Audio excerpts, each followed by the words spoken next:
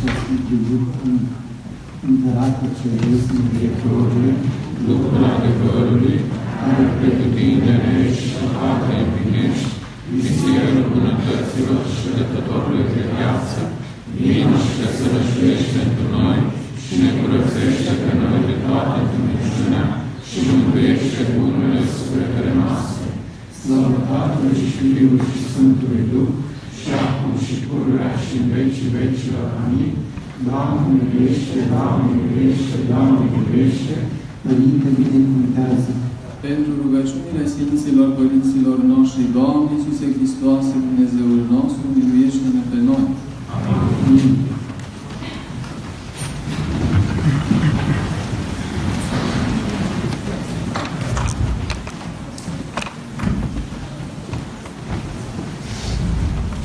Doamne ajută! Bine ați venit la a doua conferință din postul mare organizată de Asociația Studenților Creștini Ortodoxi Români. În seara aceasta avem bucuria să-l avem alături de noi pe Părintele Arsenie Muscalu, de la Mănăstirea Fornu, care îi mulțumim că a acceptat invitația noastră. Părintele ne va vorbi despre Dumnezeirea, ca- de, despre Dumnezeire ca împlinirea sfatului dumnezeiesc. Întrucât suntem la o conferință, adică o împreună lucrare, Vreau să menționez că seara noastră se va împărți în două părți. În prima parte, Părintele va sublinia câteva aspecte importante legate despre îndumnezeire ca scop principal al omului, iar apoi dumneavoastră veți putea interveni cu întrebări scrise sau orale. Îi voi da cuvântul Părintelui uh, Vasile Gavrilă, coordonatorul asociației noastre.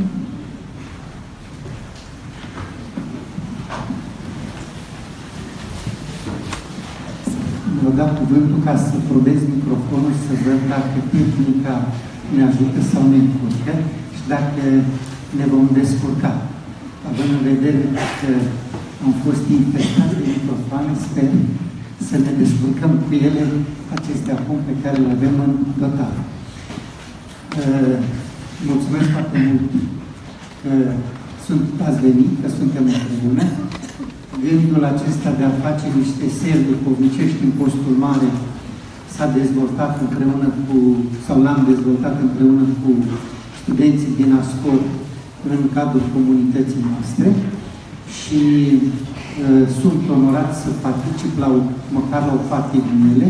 Aceasta este a doua conferință care se organizează tot în Facultatea de Teologie, dar în altă sală. Uh, și așa cum se cuvine, ar trebui să facem un intro, o mică introducere în- la conferința aceasta. S-ar putea să spuneți, bine, dacă introducerea durează atât de mult, apoi conferința cât o să dureze? Terminăm în noaptea asta sau nu? Eh, Fapt pentru care voi încerca să fiu foarte scurt, vă voi împărtăși câteva gânduri eh, referitoare la relația pe care, să zicem, o avem noi cu conferențiarul din seara aceasta, cu Părintele Arsenie. Evident că nu voi spune, nu voi destăinui lucruri care nu se destăinuiesc, ca nu cumva după aceea să nu-l mai prindem la vreo altă conferință. Și deci voi spune câteva chestiuni care se spun de regulă, eh, care să fie pregătitoare pentru ceea ce numim noi și credem noi că este vocația prin excelență a omului. Fiecare dintre noi avem o vocație, fiecare facem ceva în viață. Dar vocația prin excelență a omului este în Dumnezeu. Și nu numai că este vocația prin excelență, dar este vocația pe care o are, singura vocație pe care o are doar din toate creaturile, din toate făpturile, doar omul. Așa că, din păcate, tocmai despre lucrurile cele mai importante, oamenii nu vorbesc.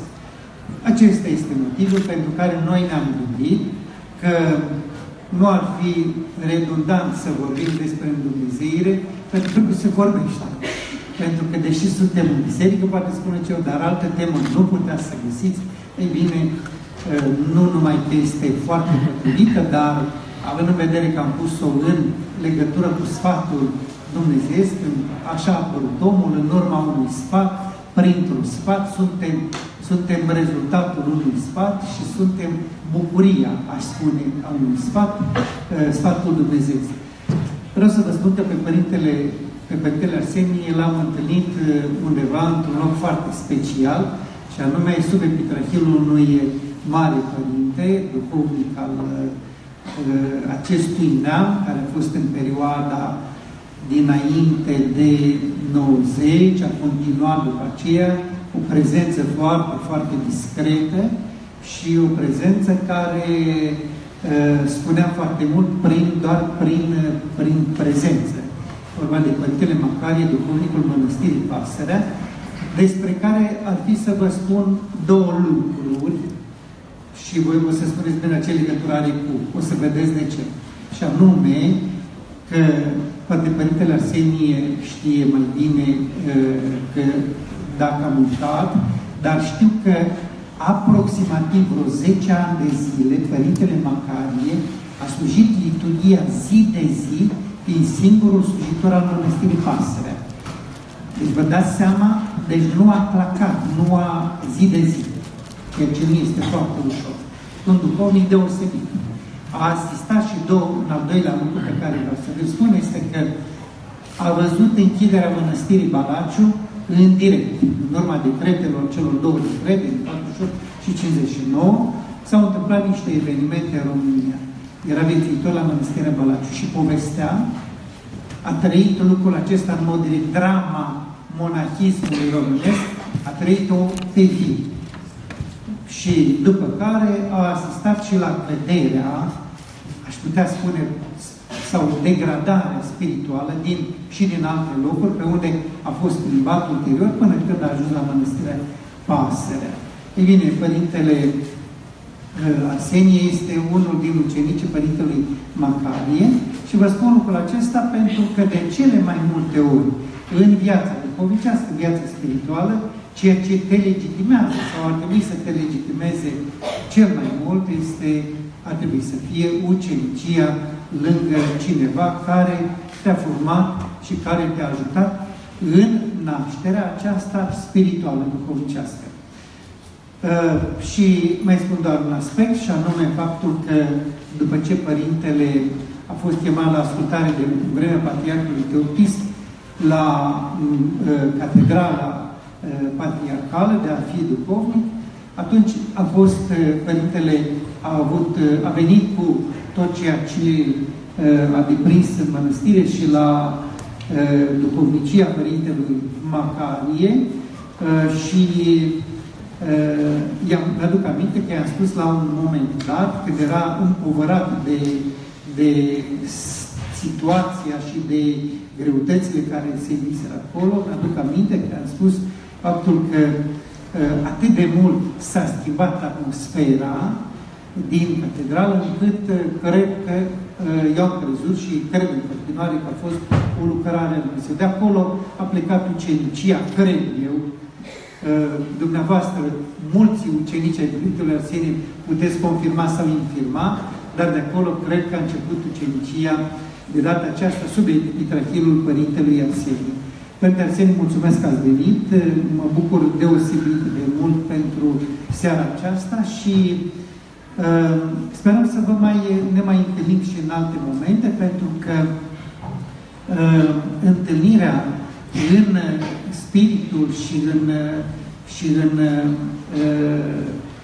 căutarea aceasta duhovnicească Uh, eu o consider la ora actuală nu, că, uh, nu ca una care ar fi um, acceptabilă, ci una necesară. Uh, sper ca seara aceasta să fie un opaz duhovnicesc în mijlocul postului mare pentru noi și pentru dumneavoastră. Vă mulțumesc, Părinte, și vă dau cuvântul.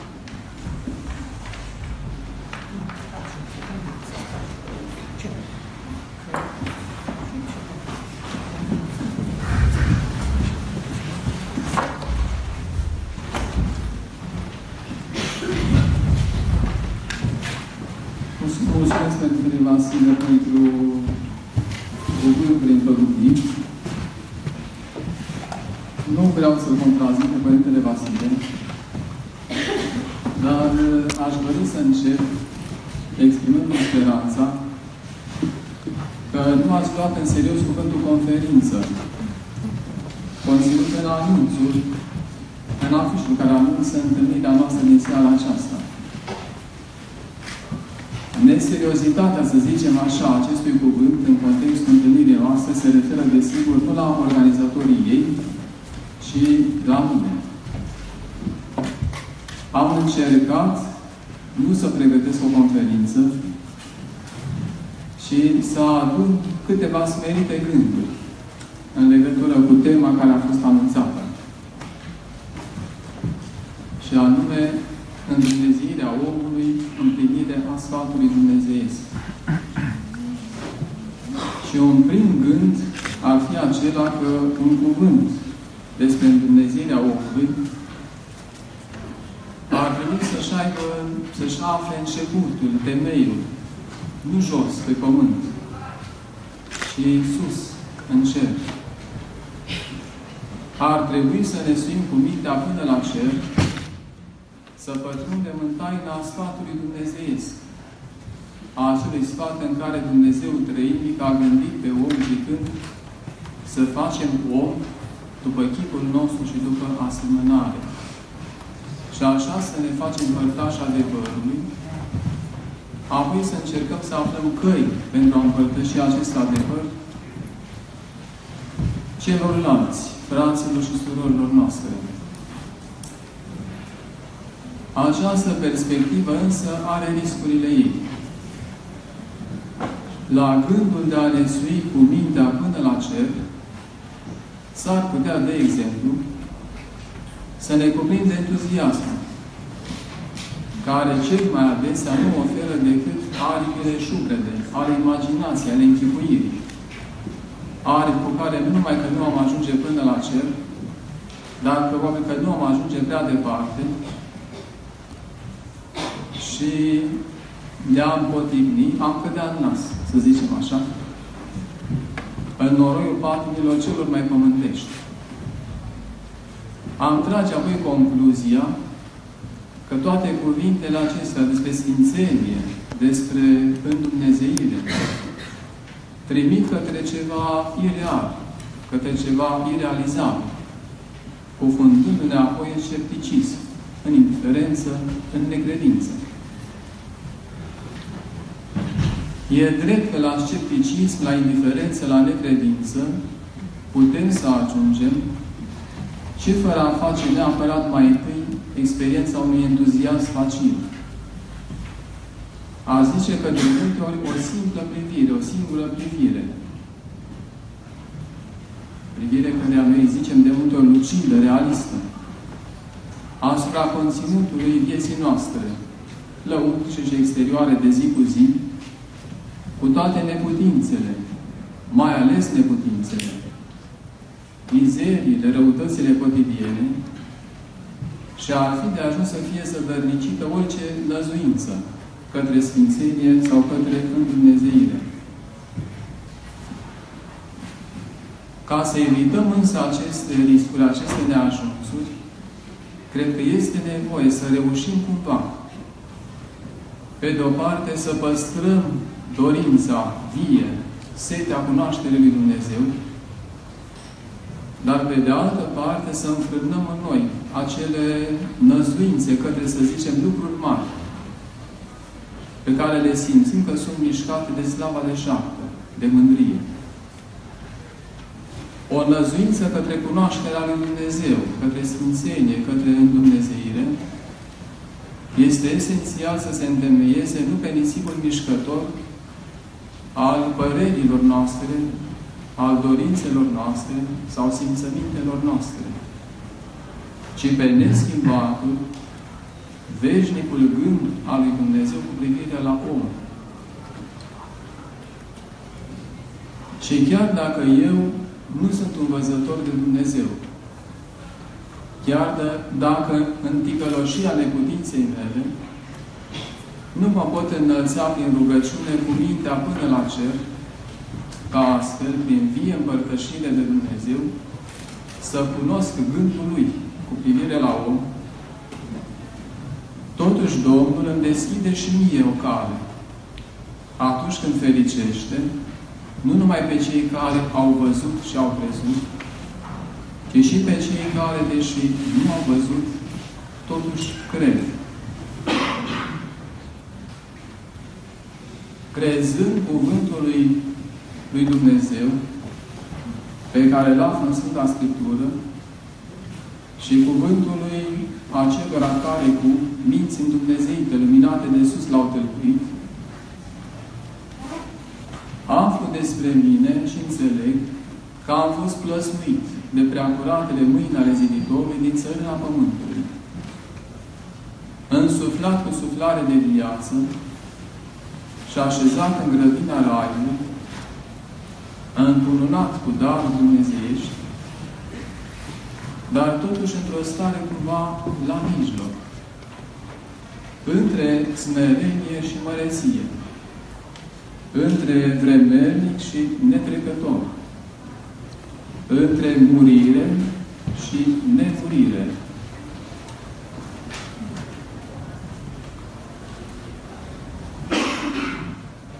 Putând să înclin fie spre una, fie spre cealaltă, în virtutea chipului dumnezeiesc pe care, care le-a fost dat să-l port, fiind zidit ca făptură rațională și liberă. Scopul ziditorului era ca prin înclinarea mea liberă către El să mă conducă la Dumnezeire, adică la unirea cu El, la părtășia de plină la viața dumnezeiască. Dorind ziditorul să nu de viața cu tot conținutul vieții sale dumnezeiești. Dăruindu-mi din harul lui tot ceea ce El ziditorul are prin fire, ca putere, ca bunătate, ca virtute, ca desăvârșire. Înclinația mea către Dumnezeu ar fi urmat să se arate prin ascultarea iubitoare față de El prin păzirea poruncii dumnezeiești, din tot pomul din rai să mănânci, numai din pomul cunoștinței binele și răului să nu mănânci. Iar eu am călcat porunca ziditorului. Și în loc de a atinge ținta în Dumnezeirii, am ajuns să fiu alungat din grădina Raiului, să fiu alungat din rai în lumea aceasta în care trăiesc acum. Și trupul meu, destinat să moștenească nestricăciunea, s-a înjugat cu moartea, întorcându-se în pământul din care a fost luat. Tot prin credință cunosc, înțeleg, că pe mine cel căzut, ziditorul nu m-a trecut cu vederea, ci mi-a dăruit mântuire din starea nenorocită în care am ajuns printr-o a doua naștere, care este într însuși Fiul Său, cel unul născut, pe care l-a trimis în lume, care s-a întrupat, pentru ca să nimicească, să o sândească păcatul în trupul Său și să dezlege durerile morții prin învierea sa.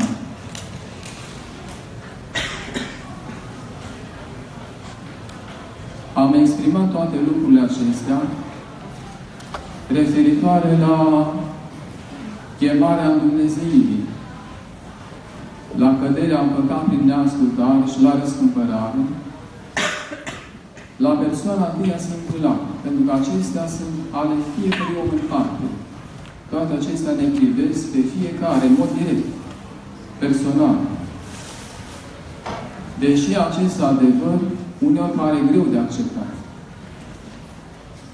De exemplu, cu privire la călcarea de poruncă ce s-a petrecut în rai. Cum ne privește ea în mod direct? Cum putem noi să fim părtași la un păcat ce s-a săvârșit mai înainte ca noi să ne naștem? Cu ce suntem noi vinovați că Părintele nostru Adam a ales să întindă mâna către fructul oprit, deși cunoștea prea bine porunca ziditorului. Sfântul Inochientie, arhipăstor al Odesei, care a păstorit în a doua jumătate a secolului al XIX-lea, într-un cuvânt despre căderea lui Adam, folosind o logică ce nu prea ne mai este proprie, să o numim o logică a credinței, afirmă cu hotărâre că din faptul că, din faptul că simțim apăsând asupra noastră pedeapsa dată lui Adam în rai după călcarea de poruncă, din acest fapt, putem înțelege limpede că suntem părtași la căderea Lui. Nu moștenim vinovăția lui Adam. Nici noi, ca oameni, n-am pedepsit pe cineva pentru greșeala altcuiva. Nu este vorba de a moșteni vinovăția lui Adam. Ceea ce afirmă Sfântul Inocentie, dar nu este gândul lui, ci gândul Bisericii, este că suntem în mod real părtași la căderea lui Adam. Și într-adevăr, oare nu apasă și asupra noastră o sânda morții? Nu ne mâncăm pâinea în sudoarea feței? Nu ne rodește pământul, nu numai pământul acesta pe care îl călcăm cu picioarele, dar pământul inimii noastre nu ne rodește spin și pălămidă? Nu știm, nu cunoaștem fiecare dintre noi faptul că aproape orice bine se săvârșește greu, cu mult efort, pe când răul ne invadează cu mare ușurință și pe toate căile.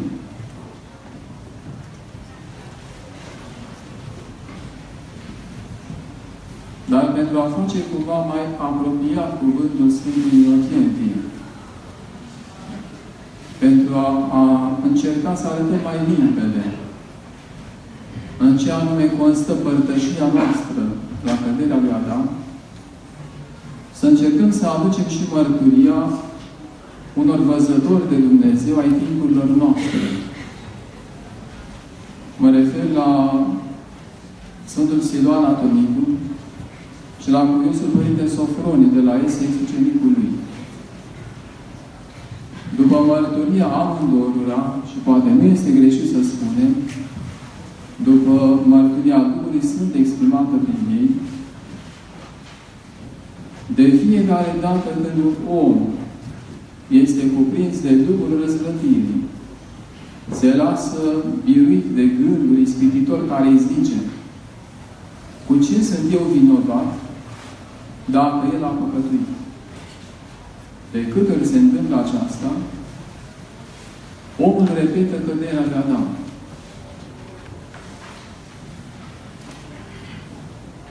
Cu ce sunt eu vinovat dacă el a păcătuit?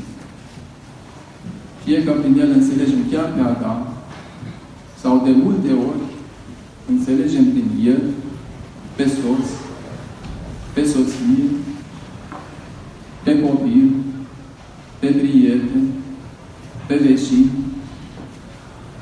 pe fratele sau pe sora împreună cu care viețuim în orice călugărească, sau pe orice alt om. Cu ce sunt eu vinovat dacă el a păcătuit? Să ne întoarcem acum puțin la cele petrecute în rai. Este adevărat că răul a început prin călcarea poruncii zilitorului, din întinderea mâinii către fructul oprit. Dar totuși, în această fază a lucrurilor, răul încă era ușor de vindecat, după mărturia părinților bisericii. Putea fi tămăduit îndată și foarte ușor acest rău. Ce făcuseră Adam și Eva stătea sub semnul amăgirii. Se întâmplase printr-un impuls din afară, printr-o mișcare produsă cumva din afara lor.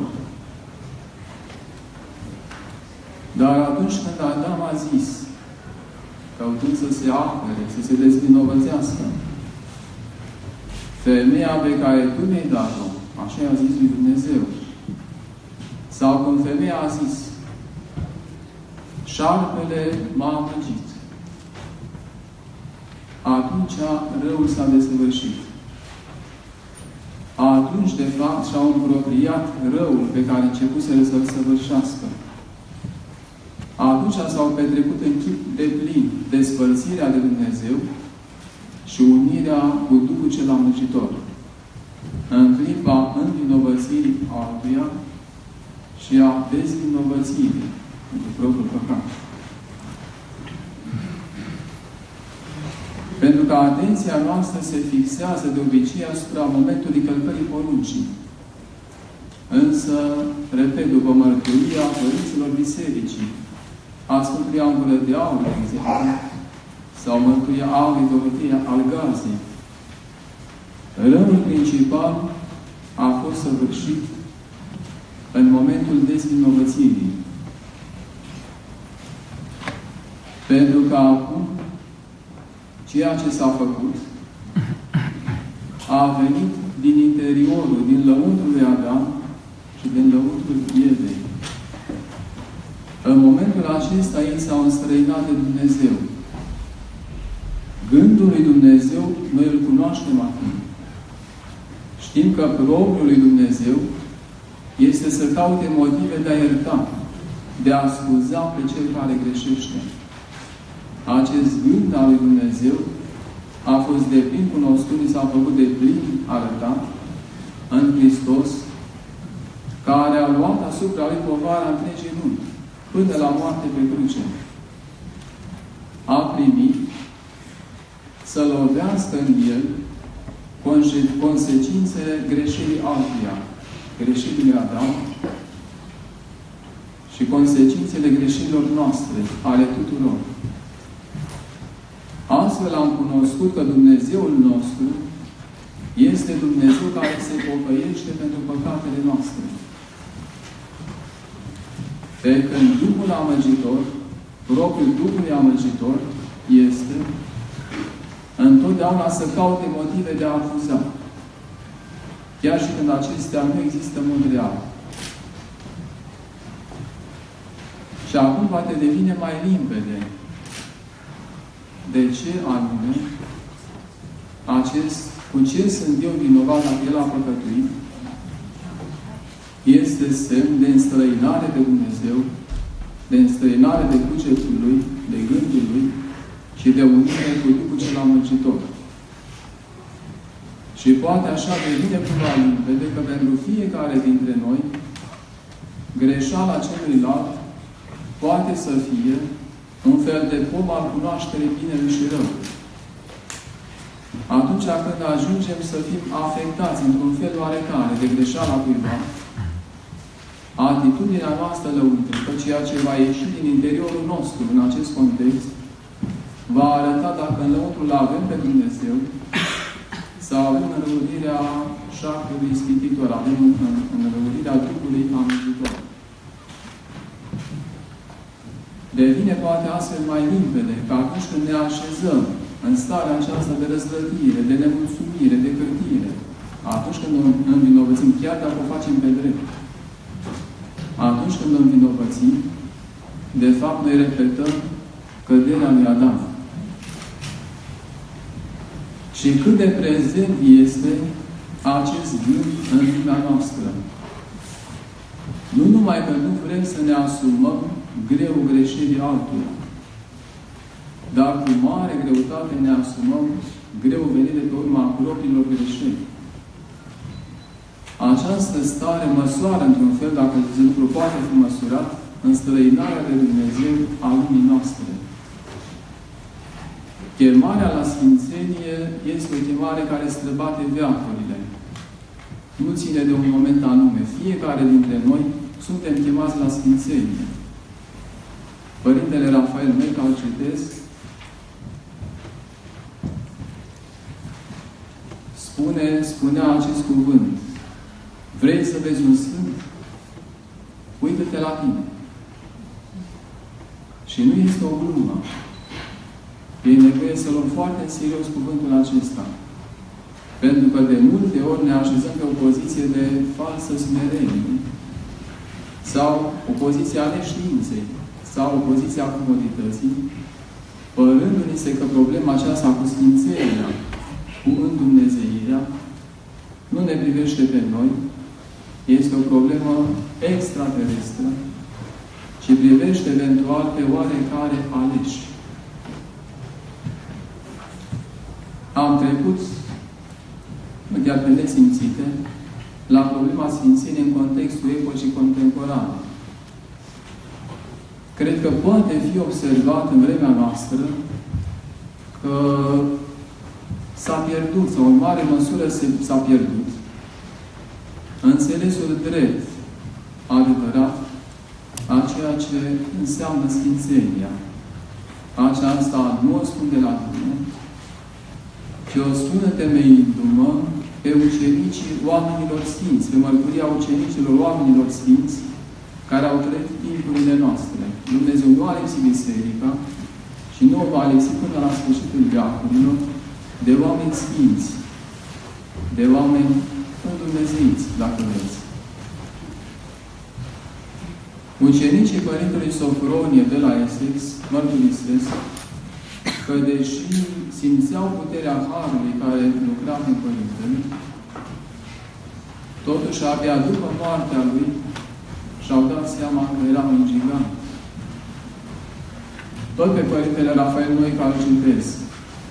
El spune că de obicei îl fiind pe Sfânt pe un stâlp de 15 km și ne uităm la el cu binoclu, dar cu partea care îndepărtează. Nu cu cea care apropie.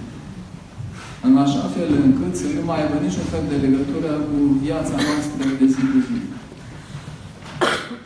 Și în modul acesta, sigur că nu mai vedem pe oamenii sfinți, între care poate chiar ne este dat să trăim. Întotdeauna, să zicem așa, a fost greu de recunoscut Sfințenia. Mă gândesc acum la un cuvânt al Sfântului Simon, nou teolog, pe care îl prăznuim, care este prăznuit astăzi, că deja am intrat în ziua liturgică de luni. Sfântul Simon, nou teolog, zice, știți că Sfântul Simon are cuvinte, cuvinte tari, să le zicem, cuvinte tari, care chiar pot descuraja. Zice că cei mai, cei mai mulți oameni cinstesc ca nepătimitor și ca sfânt pe cel arătos și guraliv. Iar pe cel tăcut și cu grijă la cuvinte, zice Sfântul Simeon, îl țin de prost și mut. Dar revenind mai în contemporanitate, Știți că chiar obștea mănăstirii Sfântul Pantelimon, a mănăstirii rusești în Muntele Atos, chiar în obștea mănăstirii Sfântul Pantelimon, Sfințenia Sfântului Siluan nu a prea fost remarcată. Chiar după adormirea Sfântului, veneau mai ales greci în mănăstire și întrebau de moaștele Sfântului Siluan. Iar părinții de acolo nici nu știau bine unde se află mormântul. Și se minunau ce caută oamenii acolo, că doar îl cunoscuseră și trăiseră împreună cu el un simplu țăran rus, cum se cade adevărat, dar a vorbit despre sfințenie în privința lui părea mult prea mult. Așa că nu este ușor de recunoscut Sfințenia din cauza ochilor cu care privim. Ne-am format idei greșite despre despre Sfințenie. În general, poate că se poate spune că identificăm, asimilăm Sfințenia cu minunile, cu darurile ale străvederii, înainte vederii, clar vederii. Și este adevărat. Acestea sunt daruri ale Sfinților. Și ca să, mă, să revin la Părintele Sofronie de la Essex, Părintele Rafael spune că acest dar al înainte vederii, al străvederii, se manifesta în Părintele Sofronie atât de discret, încât de multe ori după zeci de ani și-a dat seama că în cutare sau cutare împrejurare, ceea ce se întâmplase, fusese o manifestare a acestui dar în persoana Părintelui Sofronie. Un alt mod, poate puțin naiv de a privi Sfințenia, care este propriu timpului nostru, este acela prin care cineva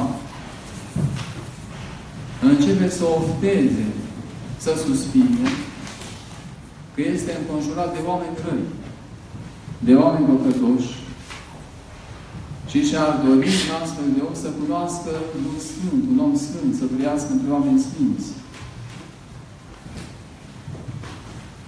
Se poate întâmpla ceea ce am spus eu, are nuanță de ironie și nu este bună, nu este potrivită această nuanță. Se poate întâmpla ca un suflet chinuit, îndurerat, să simtă nevoia aceasta a prezenței unui om sfânt. Și poate un asemenea suflet îndurerat, unui asemenea suflet îndurerat, să-i fie dat să întâlnească un om sfânt și în prezența lui sau prin cuvântul lui să dobândească dintr-o dată o luminoasă nădejde, să învieze sufletește.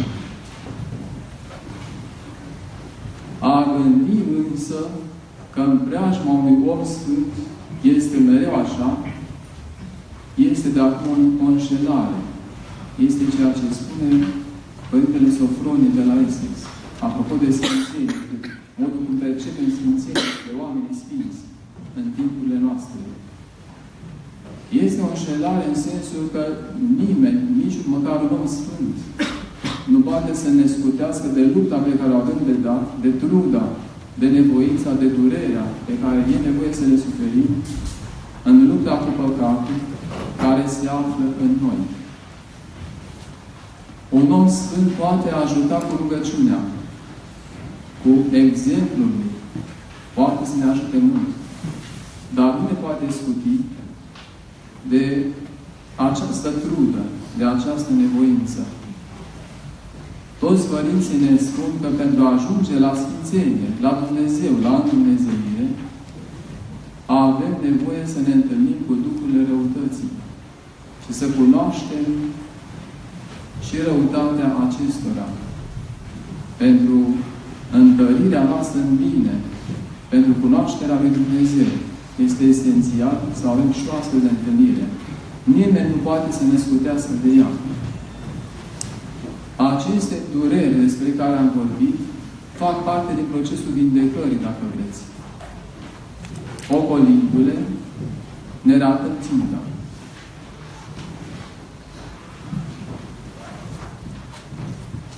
Ca să întregesc ceea ce am spus acum în partea de final a cuvântului, aș mai aduce mărturia metropolitului Atanasie de Limasol, care a fost binecuvântat de Dumnezeu să cunoască mai mulți oameni sfinți, mai mulți oameni sfinți ai timpului nostru, între alții, l-a cunoscut de aproape pe curiosul Paisia Dioricului.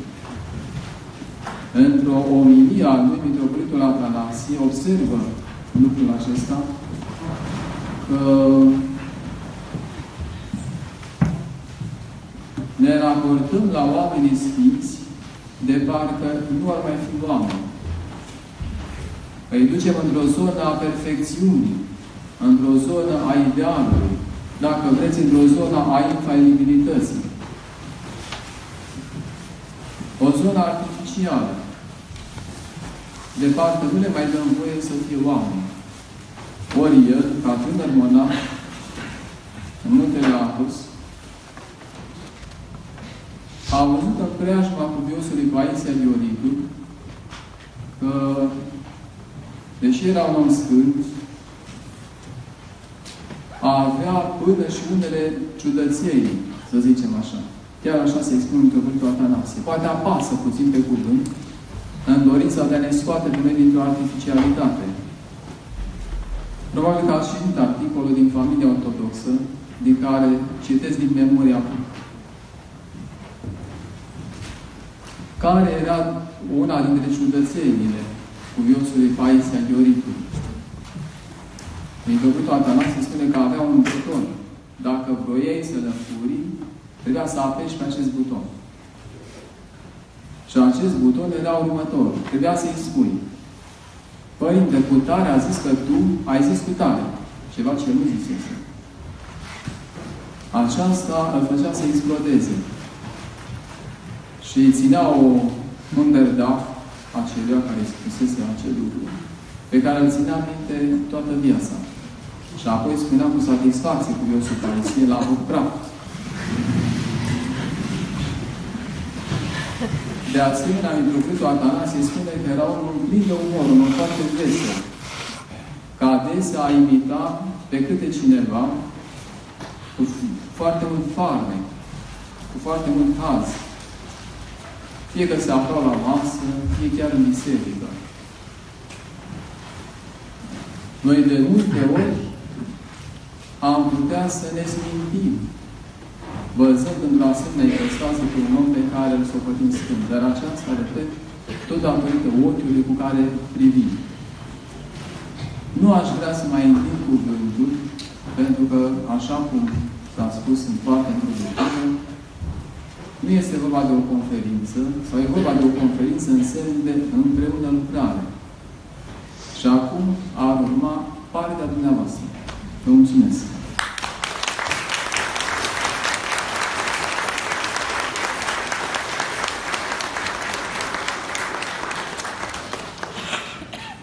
Vă mulțumim, Părinte.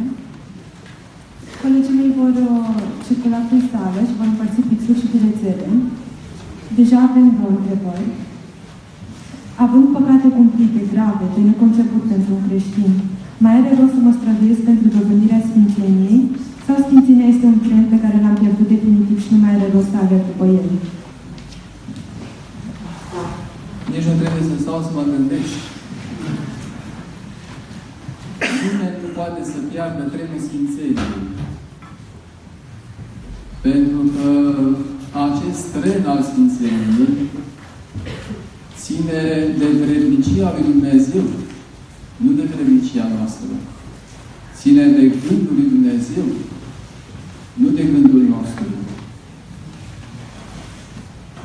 Mai avem puțini, adevărat că în anul acesta, în Duminica a 5 Apostolului Mare, cade una vestire și se mută slujba Sfintei Marie Citeanca.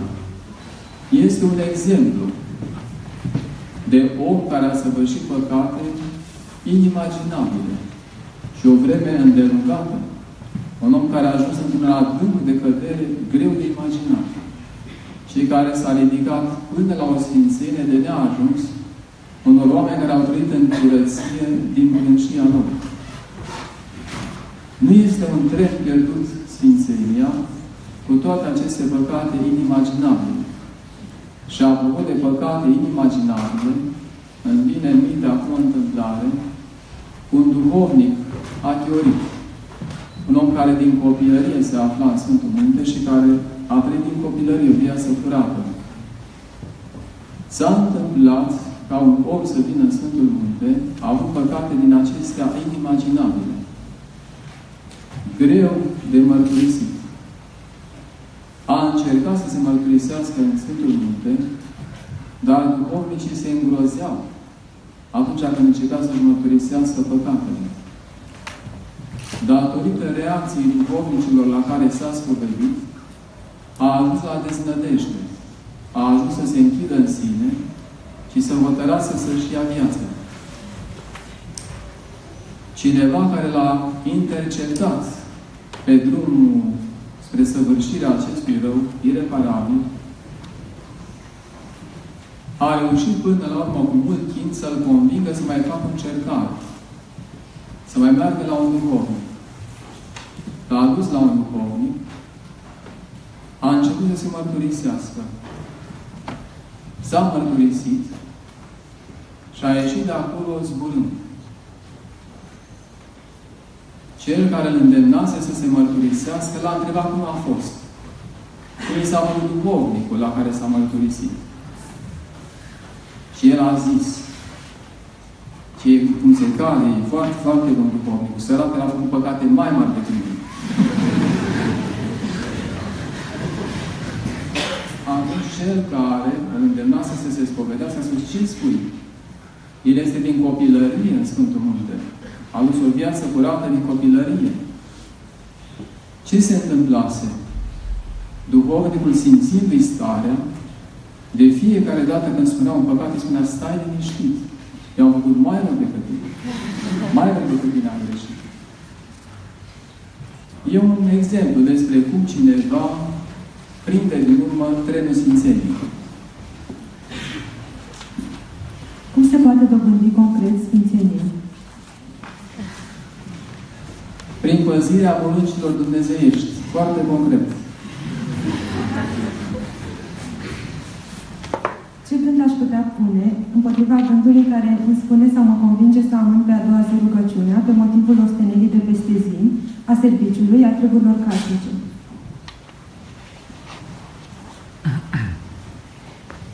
O mamă, oricât de obosită ar fi, nu amână să alăpteze pruncul ei pe a doua zi.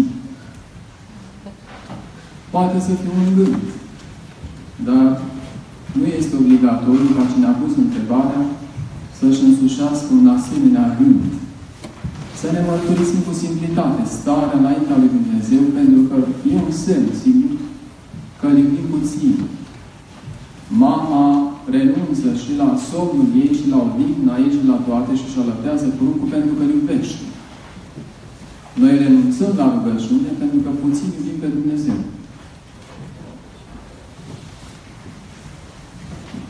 Cum să nu pierdem din vedere scopul Dumnezeu în viața de familie, unde întâmpinăm greutățile, cazuri și uneori ne îndepărtăm de Dumnezeu?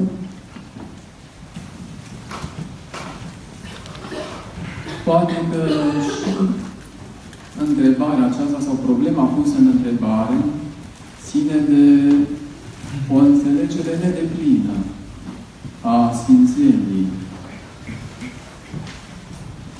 Nu am nu știu ce vârstă, nici nu am spovedit foarte mult sau foarte mulți oameni, dar am spus în ultima vreme că pe măsură ce timpul a trecut, a început să mi se pară tot mai mult că esențial vorbind, esențial vorbind, nu este mare deosebire între căsătorie și călugărie.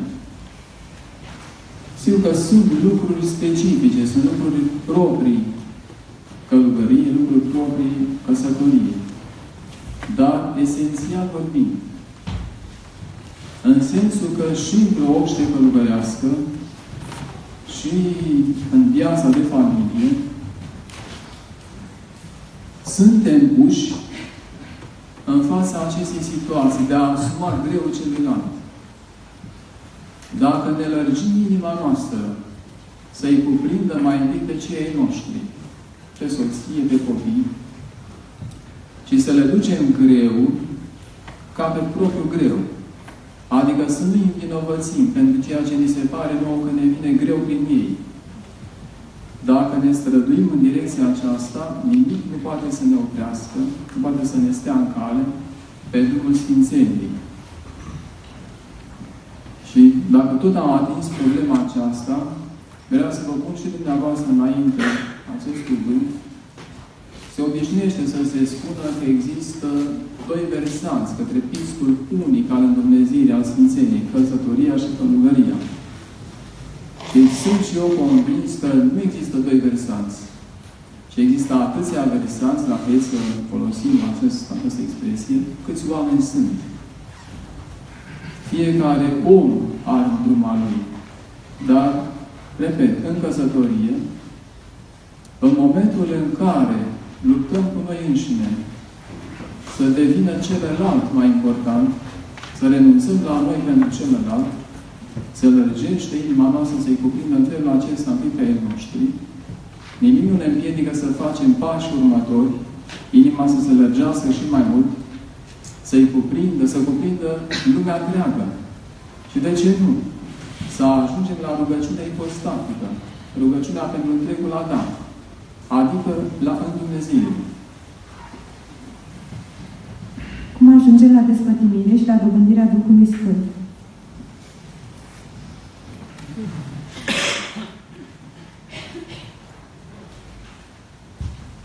Nu știu ce să răspund. Există și acest răspuns. La despătimire și la dobândirea Duhului Sfânt. Probabil că marea majoritate dintre dumneavoastră ați citit, cunoașteți convorbirea Sfântului Serafim de Saru cu motovilor. Încerca, spunându-i că scopul vieții creștine este dobândirea Duhului Sfânt, încerca să-i arate folosindu-se de experiența de viață lui Motovilov, era negustor Motovilov. Încerca să-l lămurească. Nu pricepea cum este cu dobândirea Sfântului Duh.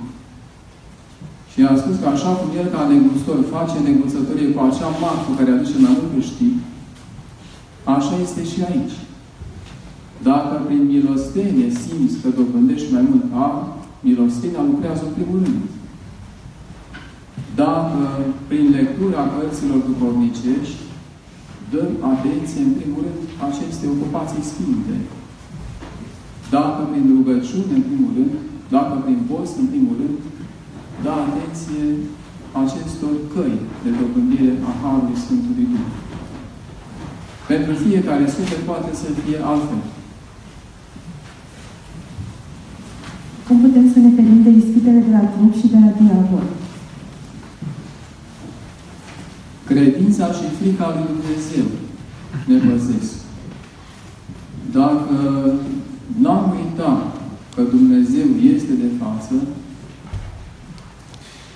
am fi păziți, am fi apărați. Ne-ar fi rușine să facem acele lucruri dacă ar fi cineva dintre ai noștri de față, dacă ar fi tata, mama sau un prieten, dacă ar fi cineva cunoscut, dacă ar putea cineva apropiat să vadă ca pe ecranul unui televizor ce fel de gânduri avem, ce lucruri cultivăm în lăuntru nostru, numai de rușinea aceasta și-am fugit de ele ca de foc. Dacă am conștientizat că Dumnezeu este de față, frica lui Dumnezeu, dacă am conștientizat că Dumnezeu este de față, dacă am avea credință vie că frica lui Dumnezeu se naște din credință, atunci ne-am ferit de ispita gândurilor trupești. Cum încredințez care este voia lui Dumnezeu pentru mine? De ceva timp mă tot gândesc să merg la mănăstire, însă această dorință încă nu s-a îndeplinit.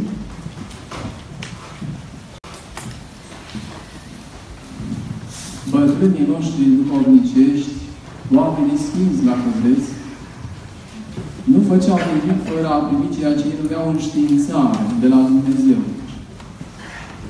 pare neobișnuit pentru noi. La fel, ar părea că aceasta este ceva pentru niște aleși.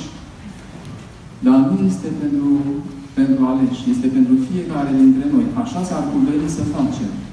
Nici o hotărâre importantă, dar nu neapărat hotărâre importantă, și hotărârile mai mici.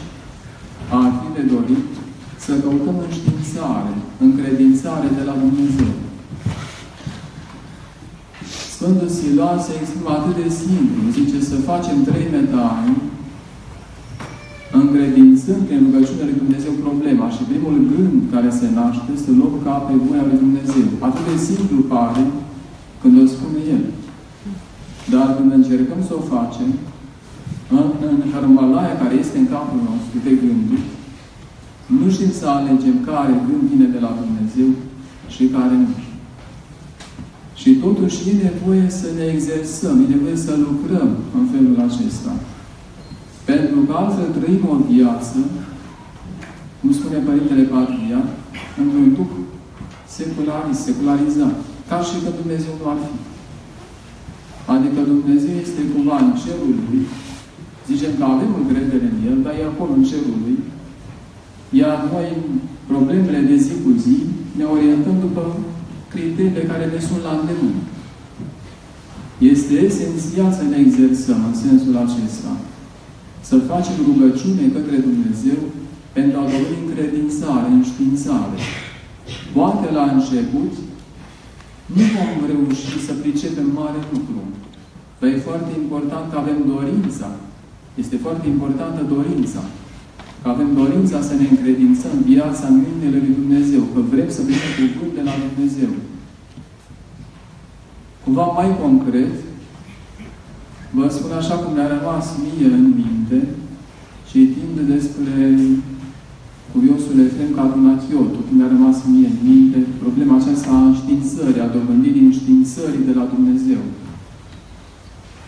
Cuviosul Efrem Cadunachiotu spune că atunci când ne rugăm pentru o problemă, când ne rugăm pentru ceva anume, și simțim că rugăciunea ia având, avem plăcere, avem bucurie să ne rugăm pentru acel lucru, putem să luăm aceasta ca pe o credințare că Dumnezeu binecuvântează acea hotărâre sau acel lucru. Dar dacă rugându-ne, simțim o greutate, simțim că parcă forțăm lucrurile, parcă nu se leagă, nu ne vin cuvintele, parcă ne e greu să pronunțăm și cuvintele rugăciunii. Avem o motivire în rugăciune și pe măsură ce insistăm, greutatea asta crește. Putem să luăm aceasta ca pe un semn că Dumnezeu nu binecuvântează acel lucru sau soluția către care de noi. Cum să manifest iubirea pe care nu o am, dar pe care o doresc față de cei din jurul meu? Mă prefac că țin la ei când sunt împreună cu ei, sperând că voi primi la un moment dat și dragostea. Sau doar cer dragoste de la Dumnezeu și mă pot folosi. E nevoie să fim sinceri cu noi înșine. Măcar să fim sinceri cu noi înșine. A te purta frumos cu ceilalți ca să primești iubire de la ei, nu este un lucru neapărat condamnabil.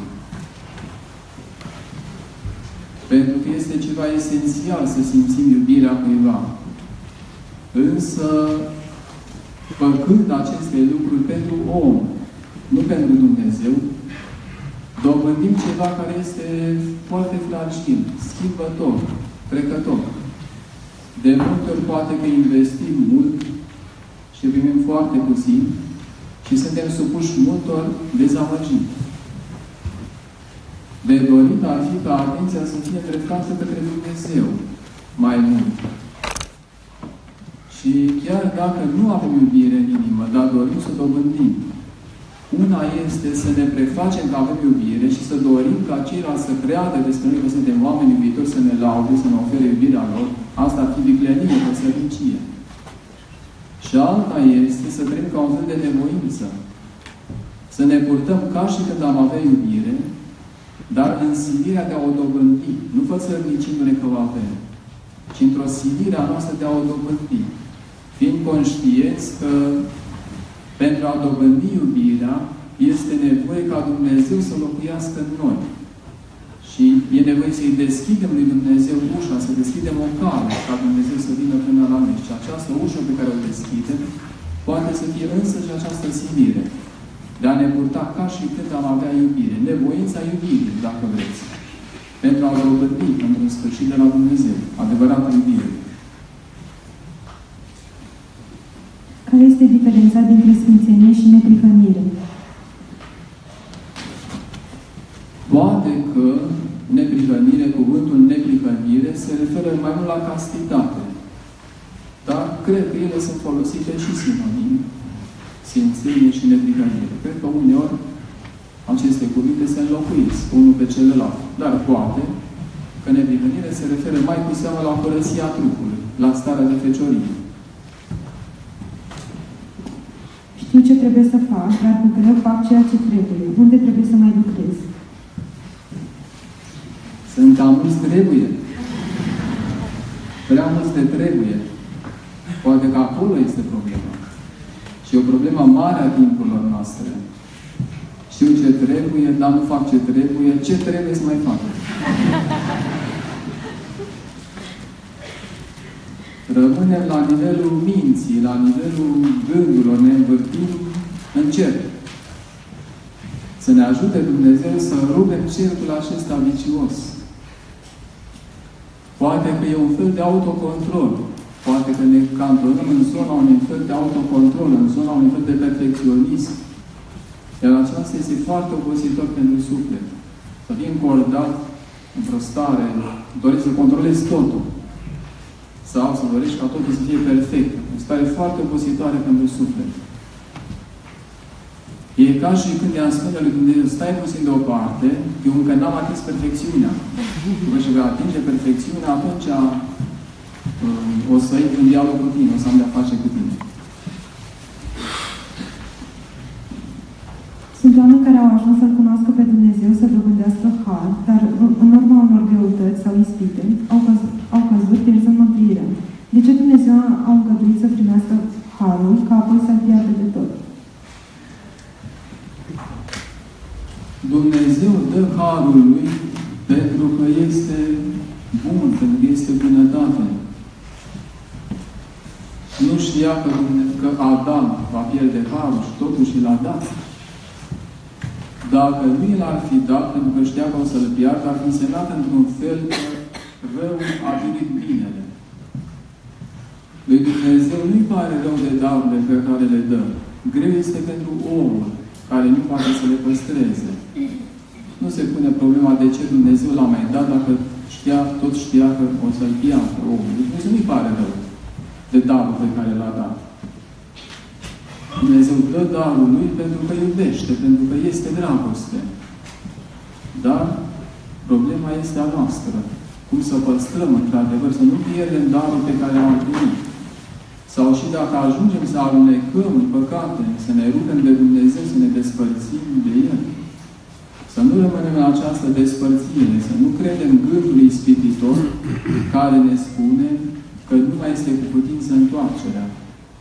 Cât timp ne aflăm în trup, cât timp respirăm, cât timp trăim, este cu putință întoarcerea. Până la ultima suflare este cu putință întoarcerea.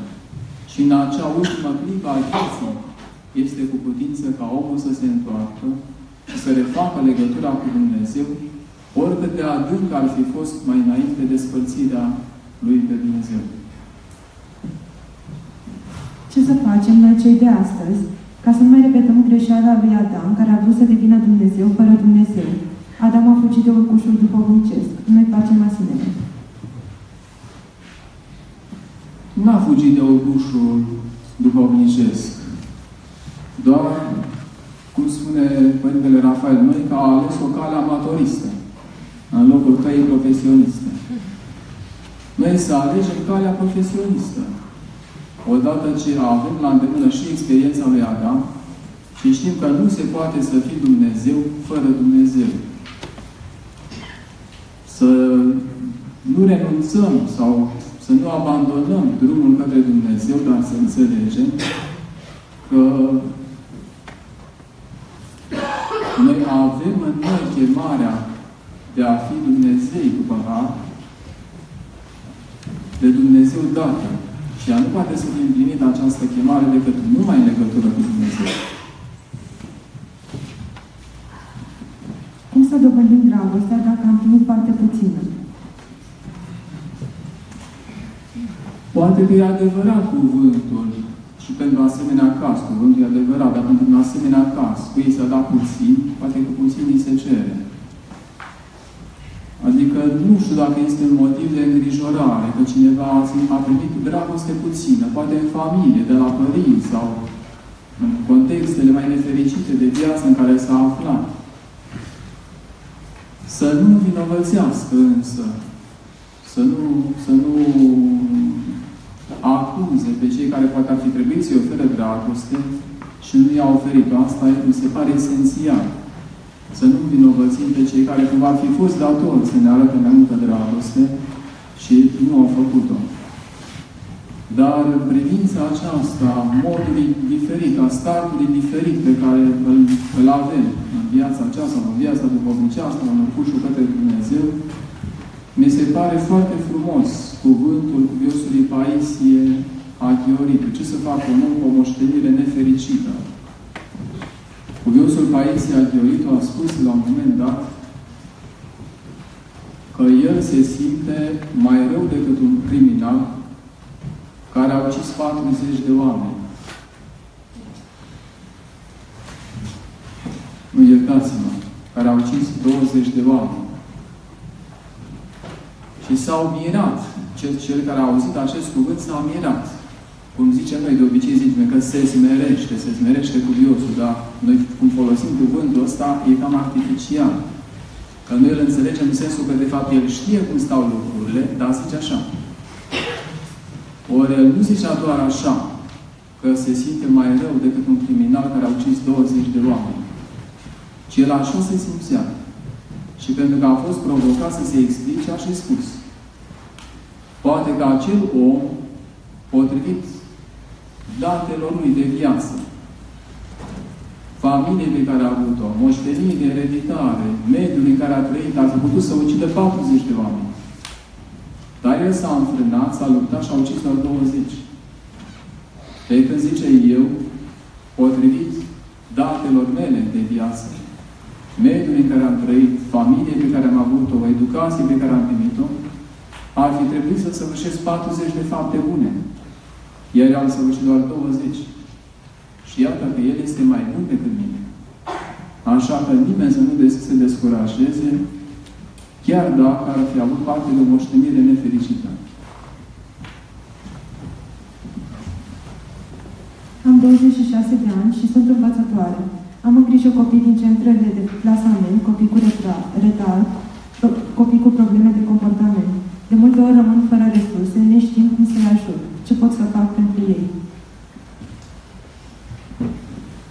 Tot Părintele Efrem Catunachiotul am văzut că îndemna foarte mult pe educatori, pe profesori, pe învățători, înainte de a intra la clasă, înainte de a-și pregăti lecțiile, înainte de a avea un contact, o întâlnire cu copiii, să facă un apel la Dumnezeu prin rugăciune pentru luminare, pentru întărire și pentru luminare. Poate că experiența aceasta a stării de limită, a epuizării, să devină un mod de a experia mila și puterea și ajutorul lui Dumnezeu. De multe ori chiar cred că trebuie să ajungi la epuizare ca să cunoști în tine, să vezi în tine lucrând puterea lui Dumnezeu. Că atunci când ești în putere, zici la modul teoretic. Dumnezeu mă ajută. Cred în Dumnezeu. Dumnezeu este cu mine. Dar, de fapt, știi că ai un capital asigurat. Pe când atunci când ești într-o stare de epuizare, atunci chiar ai ocazia să experiezi, să trăiești pe propria piele prezența lui Dumnezeu, să simți în tine lucrarea lui Dumnezeu. Am auzit de la atâția oameni că fiind într-o astfel de stare, puterile epuizate. Și având anumite datorii neîmplinite față de cei apropiați și înclinând nu la renunț pe cârtire, spre răzvrătire, spre renunțare, ci înclinând spre jertfă, au simțit, fărsându-se în sufletul lor o putere care chiar i-a făcut să fie mai odihniți la sfârșitul lucrului care venea în plus pe fondul epuizării, să fie mai odihniți, mai bucuroși, mai întăriți sufletește, decât erau înainte de să fie apucat de lucruri. Deci stările acestea de limită pot să fie prilejuri pentru a experia, pentru a întâlni pe Dumnezeu și a simți pe propria piele, a simți lucrând în viața noastră puterea Lui. Ce sfat să le dăm tinerilor de azi care caută în Dumnezeirea în alte forme de religie? Cel mai bun sfat ar fi propria viață. Dar e greu de întâlnit acest sfat, după cum vedeți. De sfatul e cam obosit în lumea astăzi. Dar știți foarte bine. Prea multe informații în exces, chiar informații religioase, în exces. Ceea ce este nevoie este ca oamenii să vadă aceste învățături duhovnicești, să vadă adevărul ortodoxiei întrupat măcar în cineva. Măcar într-un om să fie întrupate aceste adevăruri. Să le vadă oamenii. Nu mai țin minte care dintre duhovnicii noștri români folosea această expresie că vorba sună, iar fapta tună. Și este foarte adevărat. Acesta mi se pare cel mai potrivit și necesar. Ca preot duhovnic, văd că unii duhovnicești nu se schimbă deloc de mulți ani. Au aceleași păcate și patimi. Ei nu fac ascultare, sunt mâhniți. Ce este de făcut? Simt că este un timp sacrificat degeaba. Poate să fiu ispit al duhovnicului, grele ispite ale fiecare duhovnic. Grea este crucea duhovniciei. Probabil că în biserică este între cele mai grele cruci, crucea duhovniciei. E esențial să nu uităm, dar nu ca simplu act de memorie, Să nu uităm că Dumnezeu iubește pe oameni. Chiar și indiferenți cum sunt. Chiar dacă repetă păcatele de sute de mii de ori, de zeci de mii de ori.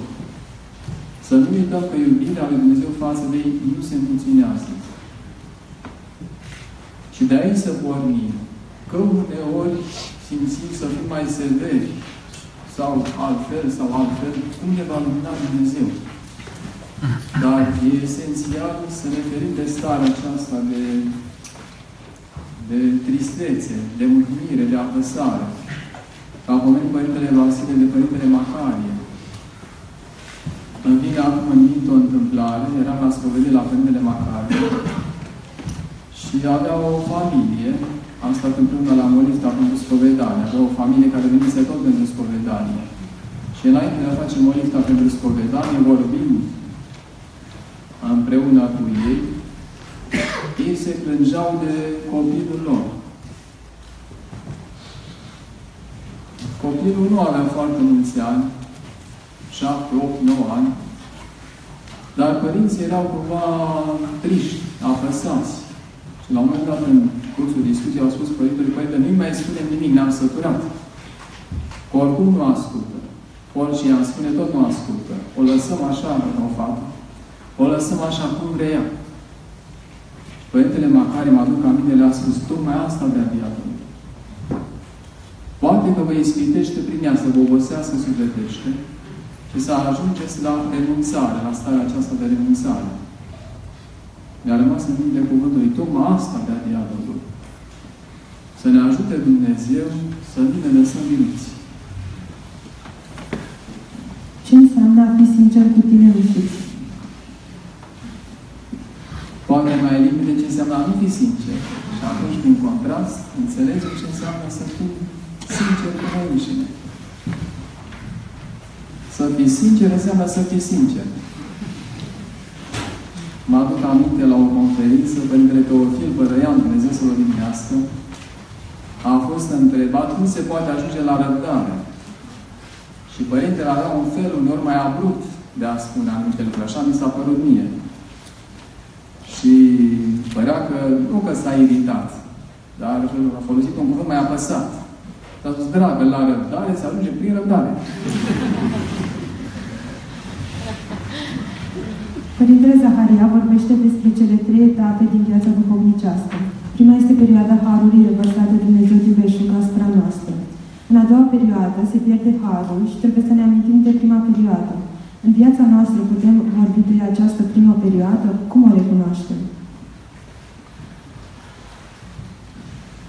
Părintele Zaharia vorbește despre cele trei, trei etapele vieții duhovnicești cu referire la oricare dintre noi.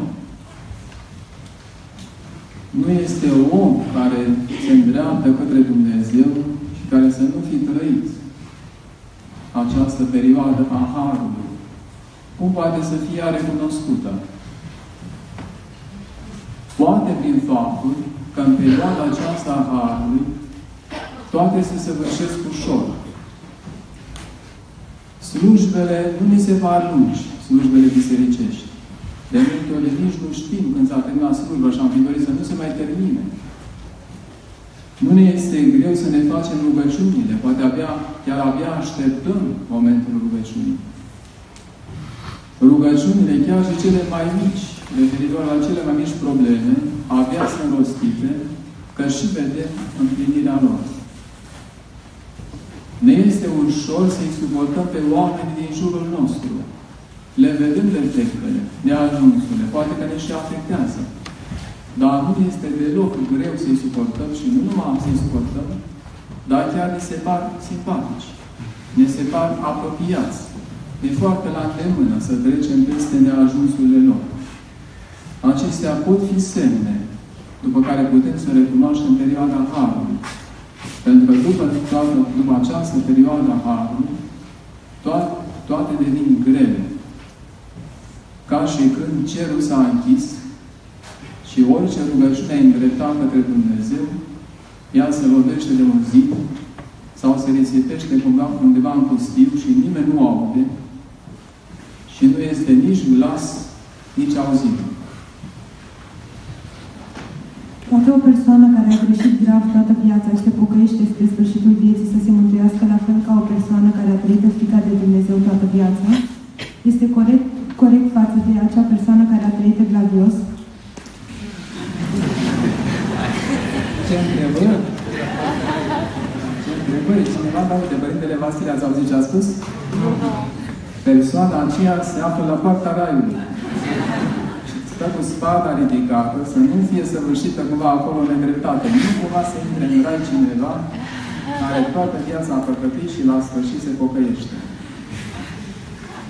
Să lăsăm bunătății lui Dumnezeu astfel de probleme, pentru că ele nu fac decât a ne pune așa problema sau ne pune astfel de probleme. Eu zic că ne face, faptul ăsta ne face să ne îndepărtăm de Dumnezeu. Cum să ne, nu ne bucurăm de faptul că Dumnezeu primește pe cineva, mântuiește un suflet din al 11-lea ceas? Că l-ar mântui chiar și înaintea noastră, slavă lui Dumnezeu. Nu așa asta este parabola cu lucrătorii tocmiți la vie? Nu așa au zis cei din ceasul întâi care primiseră un dinar și aceștia de pe urmă, cei din ceasul al 11-lea? Că aceștia au făcut deopotrivă cu noi, care am putea greutatea și zăducul zilei. Dumnezeu însă nu comite nedreptate. Parabola ne spune că Dumnezeu nu comite nedreptate.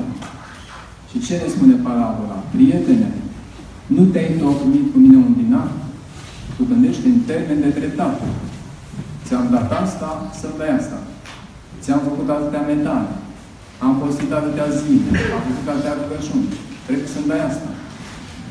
Nu te-ai tocmit cu mine un dinar pe zi, ia al tău și pleacă. Voie să dau acestuia de pe urmă ca și ție, care n-a lucrat pentru plată, ci a lucrat ascultând de dragul celui care tocmește lucrătorii.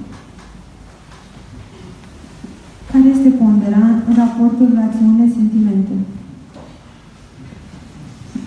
Nu trebuie să fie nicio pondere. Trebuie să fie o împreună lucrare. Tocmai fărămițarea aceasta, sau și fărămițarea aceasta, este un semn sau o consecință a căderii, a căderii lui Adam, dacă vreți. Dezbinarea puterilor lăuntrice, faptul că ele nu mai lucrează în armonie. Părintele Sofronie de la Essex preia cu durere faptul că oamenii nici măcar nu-și conștientizează această fărâmițare lăuntrică. Părintele spunea că în propria viață trăia cu durere faptul că nu coincideau gândurile lui, dorințele lui, cuvintele lui, nu întotdeauna coincideau cu faptele, cu viața. Deci acesta este un aspect al căderii noastre și avem nevoie nu să căutăm o pondere, ci avem nevoie de vindecare. Să căutăm vindecarea, să ne căutăm vindecarea.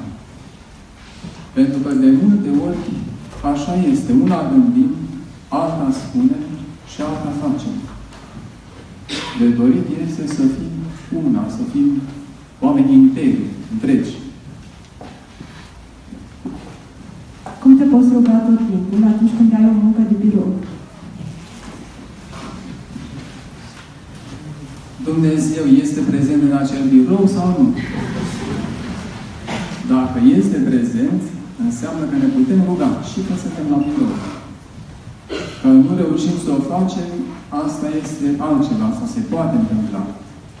Să fim acaparați de lucruri pe care le avem de făcut, atenția noastră să fie îndreptată către activitate, către ceea ce avem de făcut, să pierdem din vedere prezența lui Dumnezeu. Acum, fără glumă, un lucru care e ușor de înțeles. Dacă în camera în care ne aflăm și desfășurăm o activitate, mai este cineva și dacă se află în spatele nostru, noi putem păstra un sfințământ al prezenței Lui.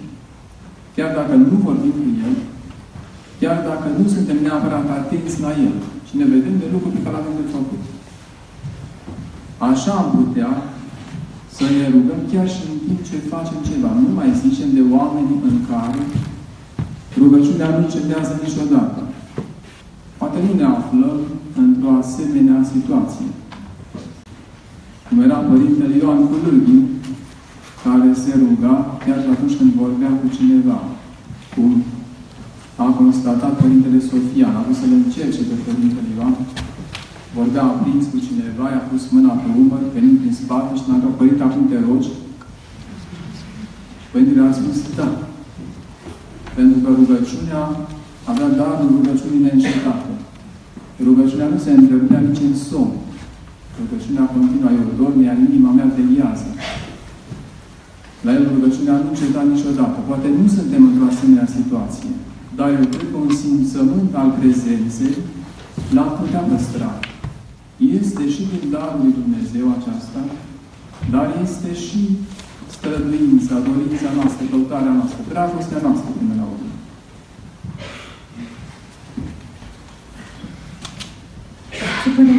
Despre calea de mijloc, de a sta în lume, necăsătorit, a avea după putință o viață duhovnicească, dar fără o alegere concretă?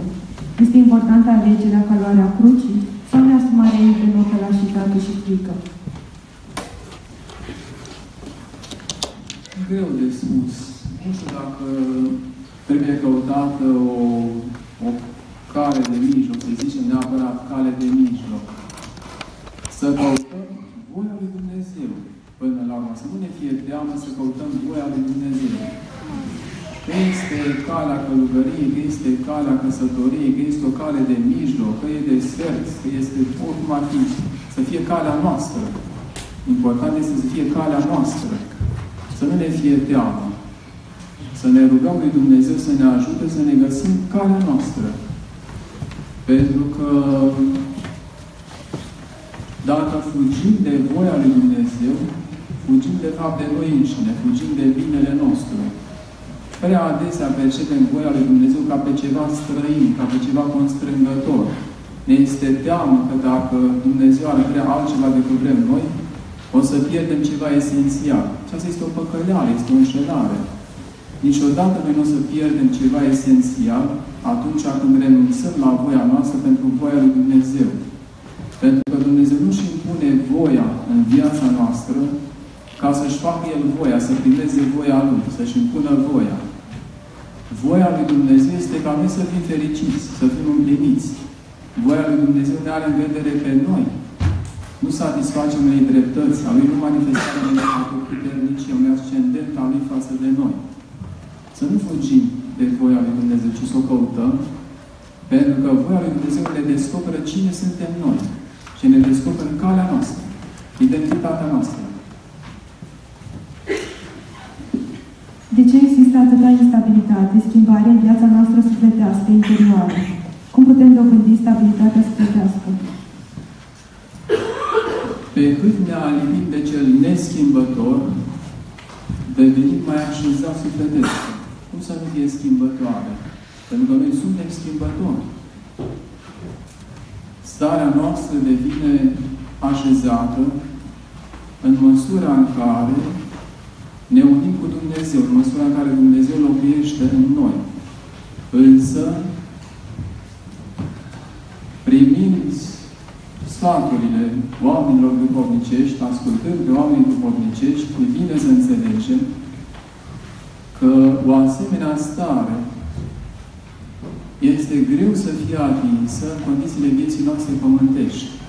Mi-aduc aminte că Părintele Zaharia de la Essex a fost întrebat cum putem să păstrăm harul? Să avem o stare neschimbată în bine, putem zice, nu? Cum putem să păstrăm harul? Și răspunsul Părintele a fost, nu putem să păstrăm harul. Harul negreșit îl pierdem. Dar putem să năzuim către el. Putem să ne păstrăm vie năzuința către el. Ce pregătire se poate face pentru a simți mai multă bucurie după spovedanie? Repet. Ce pregătire se poate face pentru a simți mai multă bucurie după spovedanie? Pe când suntem mai angajați în relația cu Dumnezeu, cred că pe atât o să simțim mai multă bucurie după spovedanie. Pe când suntem mai hotărâți pentru îndreptarea vieții noastre. Dacă ne ducem, poate că de multe ori ne ducem la sfârșit într-o stare din aceasta călduță, așteptăm să se întâmple ceva miraculos. În focus pocus și să se schimbe starea după spovedanie. Nu se poate întâmpla așa ceva. Pe cât suntem noi mai angajați în relație, pe, pe cât trăim mai cu durere faptul că prin păcatele noastre am jignit iubirea dumnezeiască. Prostește ne-am despărțit de bunătatea lui Dumnezeu, de dragostea Lui, pe cât trăim mai cu durere lucrul acesta și pe cât într-un mod mai angajat ne dorim să îndreptăm ce am făcut, să reparăm ce am făcut, să ne întoarcem la Dumnezeu, pe atât o să trăim mai mult, o să avem mai multă bucurie după spovedanie.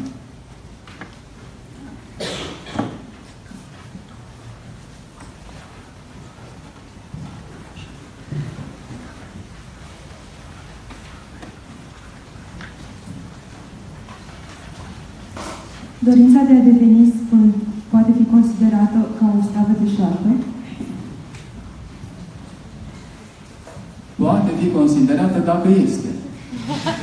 Dacă nu este, nu poate fi considerată. Dorința de a deveni sfânt, ea nu este din principiu uh, minată de slava de șartă. Este o chemare, fiți sfinți, că eu sunt, sunt, sunt, sunt, zice Domnul. Spune Sfânta Scriptură. Fiți sfinți. Deci este o chemare, o chemare pentru fiecare dintre noi.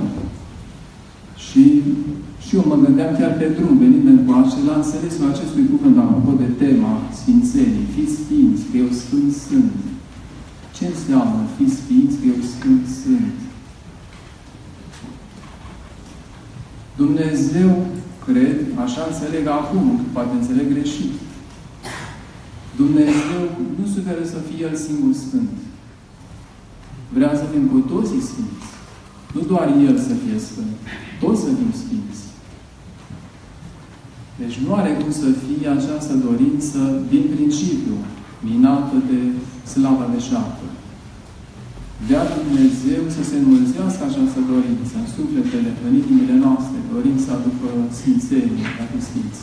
Că ne poate ataca slava de șapte, sigur că ne poate ataca. Aproape, deci pot să zic sigur că ne va ataca slava de șapte. Dar asta este o luptă pe calea Sfințeniei, nimic altceva. Pot ajunge în rai cei de alte religii? Nu vreau să mă așez la partea raiului.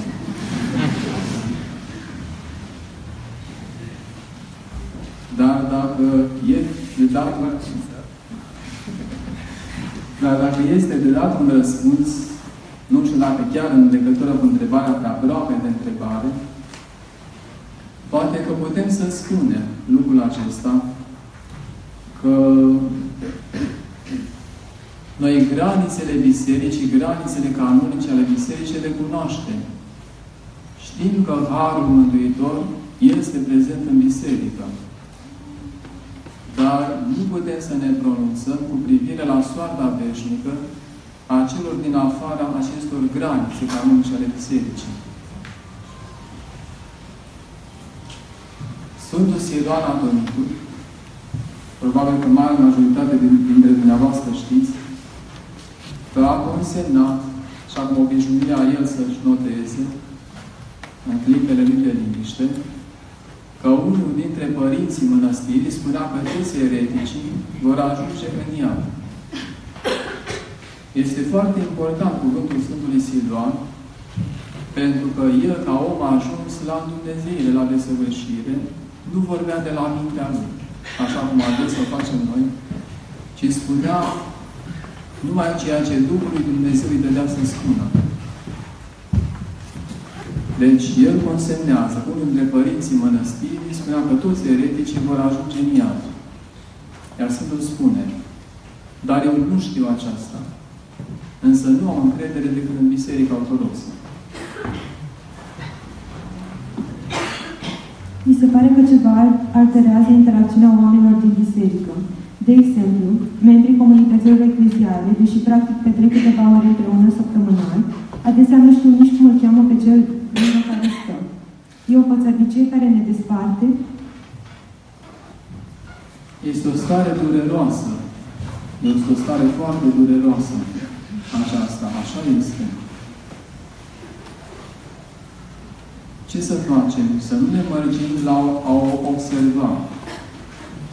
Să facem fiecare ce putem pentru vindecarea acestei stări, acestei stări de lucruri dureroase. Pentru că în momentul în care se întâmplă așa, nu știu dacă este vorba neapărat de, de despre făsărnicie. Nu știu dacă e vorba de făsărnicie aici. Dar e ca și când am merge la o piesă de teatru, avem un vecin de scaun care a cumpărat și el bilet, nu știm cine este, nu ne cunoaștem, stăm pe scaun alături, urmărim piesa de teatru, plecăm fiecare dintre noi la ale lui. Ori în biserică de dorit ar fi să nu fie așa. Ce e de făcut pentru asta? Dumnezeu să dea putere fiecărui preot, să ne dea înțelepciune fiecare dintre noi cum să ne rugăm și ce să facem, ca acest, această stare de lucruri să se îndrepte către vindecare. Cum se poate vindeca patima de stânări avută în copilărie? Spovedania ajută negreșit. Nu contează că este din copilărie sau că este dobândită mai târziu. Spovedania ajută negreșit. Și fără îndoială că ajută și faptul de a ne feri de ceea ce o provoacă. Toți părinții nevoitori, exersați în lupta duhovnicească, în lupta cu patmile, ne spun că în acest război se scapă cu fuga. Se zice că fuga este rușinoasă, dar este sănătoasă. În privința acestui război, nici măcar nu e rușinoasă fuga. Este de recomandat, este un mod de a lupta. Este chiar un mod de a lupta. Faptul de a fugi de tot ceea ce stârnește patma, fie prin auz, fie prin privire, fie în orice alt mod, fie de persoane care se fac iată de scandal și care ne atrag spre asemenea lucruri. Scăparea, scăparea este cu fuga. Cum îi putem învăța și ajuta pe copiii noștri ortodoxia și să-și dorească Sfințenia în ziua de azi, când suntem asaltați cu multe practici moderne de pedagogie? Ajută pedagogia ca cei mici să ajungă la o cunoaștere de sine sau a lui Dumnezeu, la dobândirea unei discipline lăuntrice? Ca nespecialist, nu e dreptul meu să, ne, să mă pronunț cât ajută sau nu ajută pedagogia cu teoriile ei de astăzi. Dar este limpede că pe copii putem ajuta prin atmosfera pe care o creiem. Pentru copii, impactul este foarte puternic al modului cum, cum trăiesc părinții. Relația dintre părinți, mai ales, poate să fie vindecătoare sau ajutătoare pentru copii sau demolatoare pentru sufletele copiilor. În momentul în care copiii vor vedea la părinți o viață sfântă și o vor dori și vor năzui către ea fără să-și pună problema. Deci, cred că exemplu personal este esențial și esențial, esențială calitatea relațiilor dintre părinți. Sigur că aici nu este ușor. Este o luptă care este adesea greu de dat, sub toată presiunea care vine asupra noastră în timpurile acestea ale noastre. Sfântul Ignatie de Anxaninov, de la jumătatea secolului al XIX-lea, observa calitatea, tipul ispitelor care au început să invadeze lumea. Și spunea că nu sunt ispite grosolane. De multe ori sunt și ispite grosolane. Sunt ispite mărunte, care toacă mărunt pe om și îl aduc într-o stare de epuizare, într-o stare de letargie. Și omul nu-și mai găsește energie nici pentru a-și educa copiii, nici pentru a cultiva relația cu Dumnezeu. Și Sfântul recomanda, nu sunt rețete, să găsim o cale de a ne păstra starea aceasta bună, veselă, vie a sufletului, să nu să evităm starea de, de mâhnire, de epuizare, de letargie. Oboseala, să zicem că nu avem cum să o evităm. Vom trăi stări de oboseală psihică, oboseala psihică chiar pare mai, mai greu de dus decât oboseala fizică. Dar mă gândesc că așa cum Arătul Hristos a fost răstignit pe cruce, crucea a devenit din instrument de tortură, obiect de închinare, de venerare și izvor de viață și de putere, așa se poate întâmpla ca un om a ajuns la epuizare, la situații limită, atunci când le închină lui Dumnezeu, le dedică lui Dumnezeu, să trăiască o prefacere, o preschimbare. Cumva să nu luăm starea aceasta de epuizare ca un, un punct terminus. Orice cuvânt a fost spus și nu mai este nimic de făcut. Să închinăm lui Dumnezeu această stare. Nu, mai, nu știu, nu mă pricep să explic mai bine cum. Dar uh, revin asupra acestui gând. Că ceea ce atinge Dumnezeu se transfigurează, se transformă. Așa cum s-a atins de lemnul crucii, a fost răstit de lemnul crucii și el a devenit din instrument de tortură, a devenit vehicul al binecuvântării. Poate așa și suferința noastră și greul nostru, dacă reușim să le închinăm lui Dumnezeu, să le trăim în Dumnezeu, vor deveni izvor de binecuvântare. Ați spus că este nevoie de suferință, chiar de căderi, pentru a ne vindeca. Există cumva o parte pozitivă și în cădere atunci când o conștientizăm, dar suntem neputincioși în a ne împotrivi păcatului? Sfântul Ioan Scăraru spune că a înțelege natura unei căderi, sau Sfântul Ioan zice că un cuvânt despre căderi, un cuvânt care ar vrea să, să sorbină sensurile, rosturile duhovnicești, este cuvântul cel mai greu, un cuvânt întunecos. Greu să deosebești care dintre căderi este din economie, îngăduie Dumnezeu lucrul acesta, care dintre căderi din propria răutate, sau care dintre căderi este altfel. Știm însă că pronia dumnezeiască lucrează de multe ori și așa. Adică printr-o cădere să lucreze în viața omului ceva mult mai mare, mult mai bun, decât prin ceva în aparență bun. Adică prin ceva care pare rău, printr-o cădere, pronia dumnezeiască să lucreze ceva aparte, ceva, ceva frumos în viața unui om. Căderile, experiența căderilor Așa are rostul ei. Mă gândesc acum la Sfântul Apostol Petru, cu căderea lui, cu lepădarea lui. Știm că așa se spune, așa spune Biserica. Cum că această cădere nu i-a folosit, având în vedere faptul că era menit să devină păstor de suflete, avea nevoie să cunoască el, pe pielea lui, cum se simte omul căzut, care nu are obraz să se arate între oameni, care e greu să deschidă gura să spună ce s-a întâmplat cu el, care ar avea nevoie de un gest de încurajare, de un zâmbet, de o privire binevoitoare. Avea nevoie să facă experiența asta pe, pe pielea lui, ca să nu fie aspru, ca păstor de suflete, cu cei care păcătuiesc, cu cei care greșesc. Iată că în privința Sfântului Apostol Petru, vedem un rost al căderii. Dar e greu să spui care dintre căderi este din propria răutate și care dintr-o îngăduință dumnezeiască. Putem vorbi despre un urcuș duhovnicesc, un urcuș duhovnicesc atâta timp cât nu există bunul simț și grija față de cel, celălalt în biserică? Da. Urcuș duhovnicesc de la lipsa de bun simț la dobândirea bunului simț. Cum îmi dau seama dacă fac voia Domnului?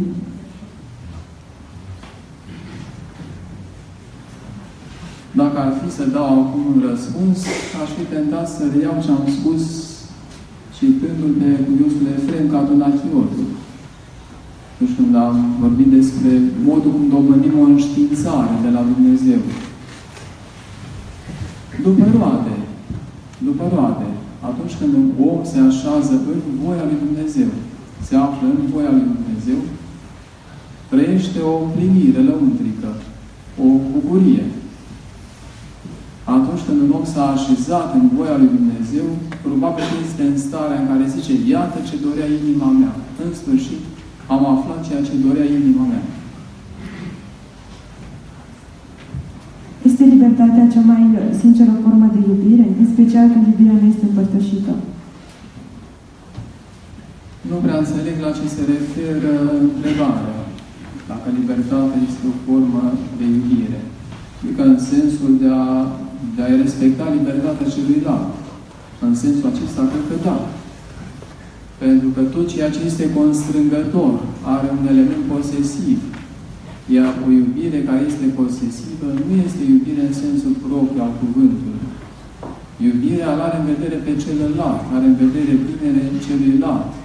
În momentul în care iubindu-l pe celălalt aștept să se răsfrângă asupra mea ceva, apare un element constrângător, apare o așteptare, apare un element de posesivitate, acea iubire nu mai este curată. Este posibilă sfințenia pentru mireni? Exemplele vorbesc aproape exclusiv despre sfinți monaci sau mucenici. Ne puteți da vreun exemplu de Sfânt Miran? El citesc pe Părintele Rafael Noica. Vrei să vezi un Sfânt Miran? Uite de la tine.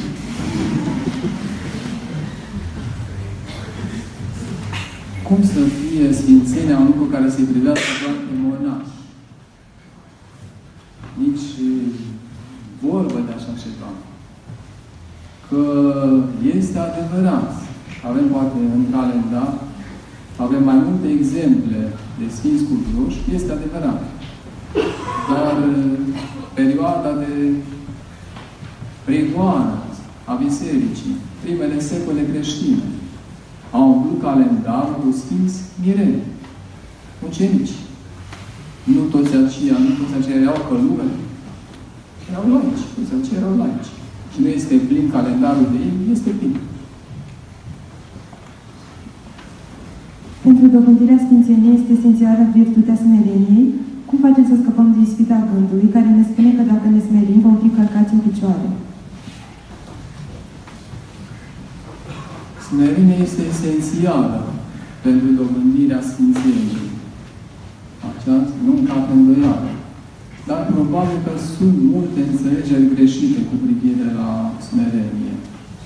Acest gând că dacă ne smerim vor fi călcați în, vom fi călcați în picioare, poate să fie unul un gând al mândriei, doar un gând al mândriei. Și atât. Nu trebuie să luăm în seamă. Altul poate să fie un gând al fricii, al necredinței. Și iarăși ar trebui să nu luăm în seamă gândul acesta. Dar cred că prea mult percepem smerenia ca pe un act moral, ca pe o faptă bună.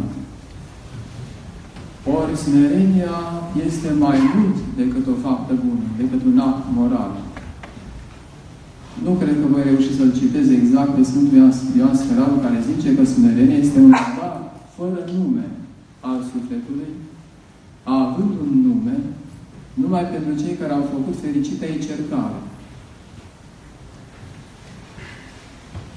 Părintele Sofronie spune despre smerenie că este calitatea iubirii dumnezeiești care se împărtășește fără întoarcere asupra fără a accepta, fără a aștepta nimic pentru sine. Astfel înțelează smerenia. Cel care o dobândește, cred că nu se mai teme de felul cum va fi el perceput. Dacă smerenia este calitatea iubirii dumnezeiești, care se dăruiește fără întoarcerea asupra fără a aștepta nimic pentru sine. Apropo de înțelegerea dreaptă sau mai puțin dreaptă a unor lucruri, între altele și a smereniei, sau a iubirii lui Dumnezeu, sau a lui Dumnezeu. Îmi vine acum în minte un cuvânt pe care poate l-ați auzit, dar mă gândesc că nu l-ați auzit toți merg dumneavoastră și poate să fie un moment poate fi un moment pentru a aduce în atenție. Părintele Rafael s-a aflat într-o biserică, la o Sfântă Liturghie, și la Chinonic, partea din Sfânta Liturghie, timpul care căreia preotul se împărtășește în Sfântul Altar, se cânta la strană o piceasnă. Iar această piceasnă avea un refren care suna așa, Vai rănile mele, cum mă dor. Era un fel de adresare din partea Mântuitorului Hristos către sufletul creștin, îndemnându-l să nu mai păcătuiască, pentru că prin păcat știm, răstignim a doua oară pe Hristos. Sau adăugăm răni la rănile Lui. Vai rănile mele cum mă dor. Creștine, nu mai păcătui, pentru că mulțești durerea rănilor mele, mulțești rănile. Și Părintele s-a mirat și a spus, dar cum se poate cânta așa ceva într-o biserică ortodoxă? Aceasta nu este o cântare ortodoxă. Dumnezeul cel adevărat nu poate să vorbească astfel. Dumnezeul cel adevărat nu-și plânge de mine. Nu șantajează sentimental pe celălalt. Nu mai greși, că mă doare. Dacă ar fi fost o cântare ortodoxă, refrenul ar fi sunat așa. Vai rănile tale, cum mă dor. De ce atât de greu ajunge la o iubire curată? De ce pe oameni nu-i mai atrage o astfel de iubire? Mi s-a apropiat această stare înstrăinată de Dumnezeu.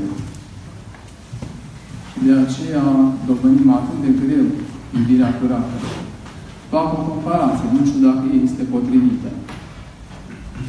Este greu aflat pe un versant pe o munte, este greu să urci să-ți dai drumul la vale, este foarte ușor. E adevărat. Și consecințele sunt diferite. Dacă îți dai drumul la vale și este o prăpastie. Sau să urci, să atingi frumusețea unui pisc. Dar așa este. Este greu să urci, e ușor să-ți dai drumul la vale. Dacă ai prieteni de altă credință, este bine să te rogi pentru ei și prin iubire și faptă să aștepți lucrarea Domnului? Este foarte bine. Dar iubirea lui Dumnezeu nu are limite. Că biserica are rânduielile lui și nu orice fel de rugăciune este potrivită pentru cineva, pentru că nu e potrivită cu situația lui. Cineva de altă credință. Nu poate fi pomenit la Sfânta Proscomie, la Sfânta Liturghie. Dar asta nu înseamnă că este interzis să te rogi, că nu e voie să te rogi. Ci pentru că el este într-o altă situație decât situația celui care este pomenit la Sfânta Proscomie, care este în părtășie, în comunie cu Biserica. Și atunci este nevoie de alt fel de rugăciune pentru el. Dar încă nu este voie să ne rugăm pentru el. Cum să nu ne rugăm? Fără îndoială că Dumnezeu va înrăuri și va lucra și rugăciunea va fi binevenită. Ce să facem atunci când simțim că patimile și păcatele se înmulțesc, dar în momentul spovedaniei ne rușinăm să spunem păcatul de teamă ca nu cumva să nu putem împlini canonul? Rugăm pe Părintele să fie milostiv. Să fie milostiv neputinței noastre. Dar mărturisirea este esențială ca să ne putem vindeca. Chiar dacă repetăm păcatele, chiar dacă ele ar părea că se înmulțesc. De multe ori chiar pare că nu se înmulțesc. Doar noi devenim mai conștienți pe ceea ce ne spovedim și începem, începem să luăm în serios lupta duhovnicească. Devenim tot mai conștienți și vedem la noi tot mai multe păcate în mod firesc lucrurile așa se petrec. Pe măsură ce omul se apropie de Dumnezeu și ia mai în serios lupta duhovnicească, se simte tot mai păcătos. Pentru că vede alea tot mai multe greșeli. Pe măsură ce te apropii de lumină, în lumină și o mică pată începi să o observi. Când erai mai în întuneric, ți se părea că ești curat, că ești în regulă. Părinte, vă rog să ne vorbiți despre viața lui Gheron Iosif. Este impresionantă experiența ascetică a acestui om. Azi este posibil să ajungi la o astfel de viață? La Dumnezeu tot este cu putință. Nu știu dacă dacă Cineva care și-ar propune, ar dori să imite viața lui, ar comite un act nebunesc în aceasta sau nu.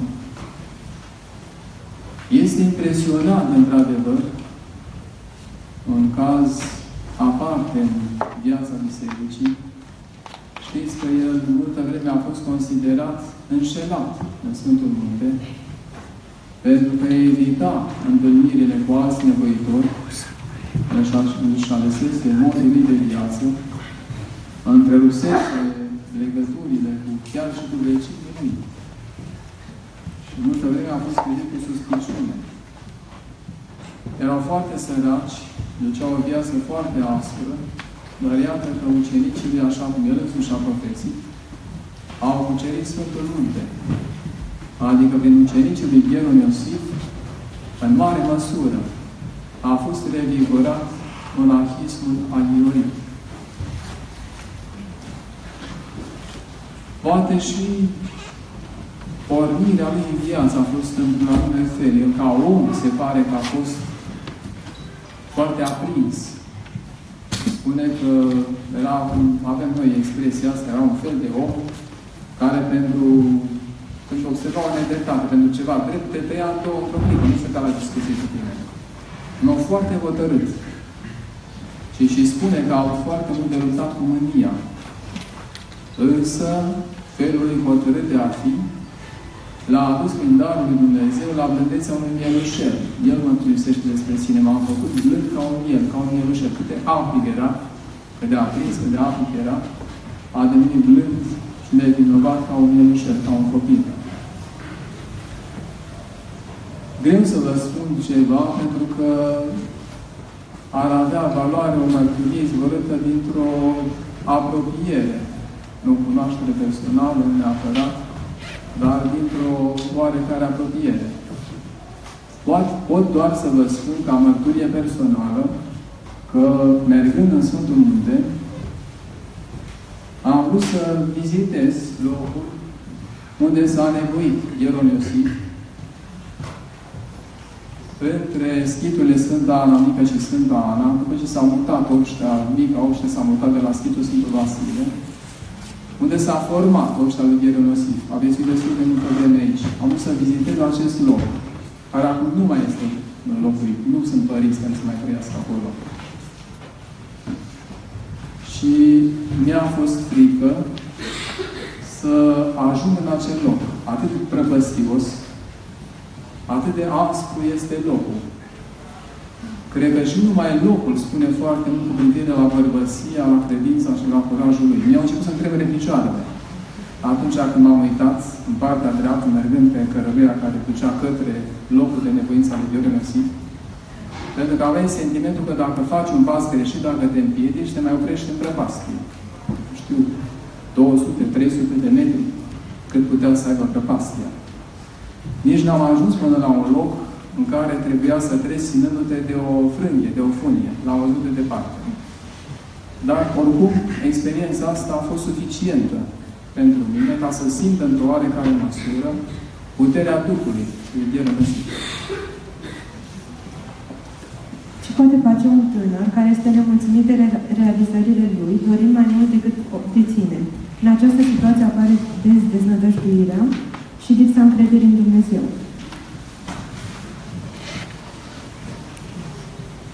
Nu știu ce cuvânt aș putea să găsesc pentru mângâierea lui. Dacă nu este mulțumit de realizările lui și ar dori mai mult, cel cuprinde o stare de nemulțumire, o stare de, de deznădăjduire. Să caute cuvânt la duhovnicului stările acestea de impas. Nu numai aceasta, stările acestea de impas. Nu numai astfel de stare de impas, în general stările de impas.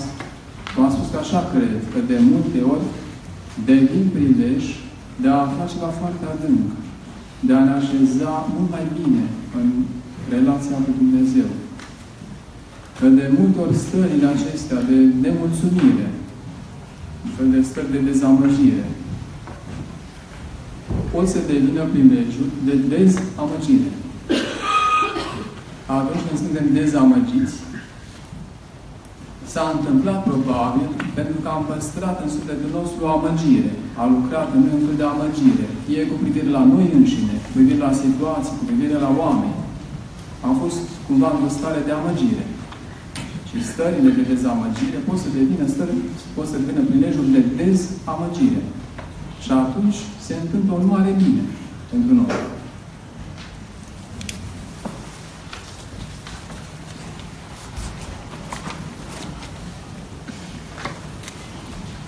Cum îmi pot schimba atitudinea nepăsătoare față de unele persoane care mi arată foarte multă atenție? Mă învinuiesc mult că nu răspund la, la, la fel și mi se pare că și cu mine alții fac la fel. Nu trebuie să ne arătăm dragostea prea mult ca să nu ne îndepărtăm de celălalt? Nu înțeleg cum adică să nu ne arătăm dragostea prea mult ca să nu ne îndepărtăm pe celălalt. Nu înțeleg întrebarea. Adică cum se poate îndepărta cineva dacă arătăm prea multă dragoste? Și apoi nu știu dacă există prea multă dragoste. Nu cred că este vreodată să fie prea multă dragoste. Cred că atunci când zicem așa prea multă dragoste, ne avem în vedere cumva pe noi înșine. Adică cumva egoismul nostru este la mijloc, să nu cumva să avem ceva de suferit. Dacă, dacă arătăm prea multă, prea multă dragoste. Dacă arătăm dragoste, să arătăm dragoste, fără de măsură. Cum să înțeleagă să treacă mai ușor o familie peste o încercare grea ca aceea unei boli grave, în special a unui copil din familie?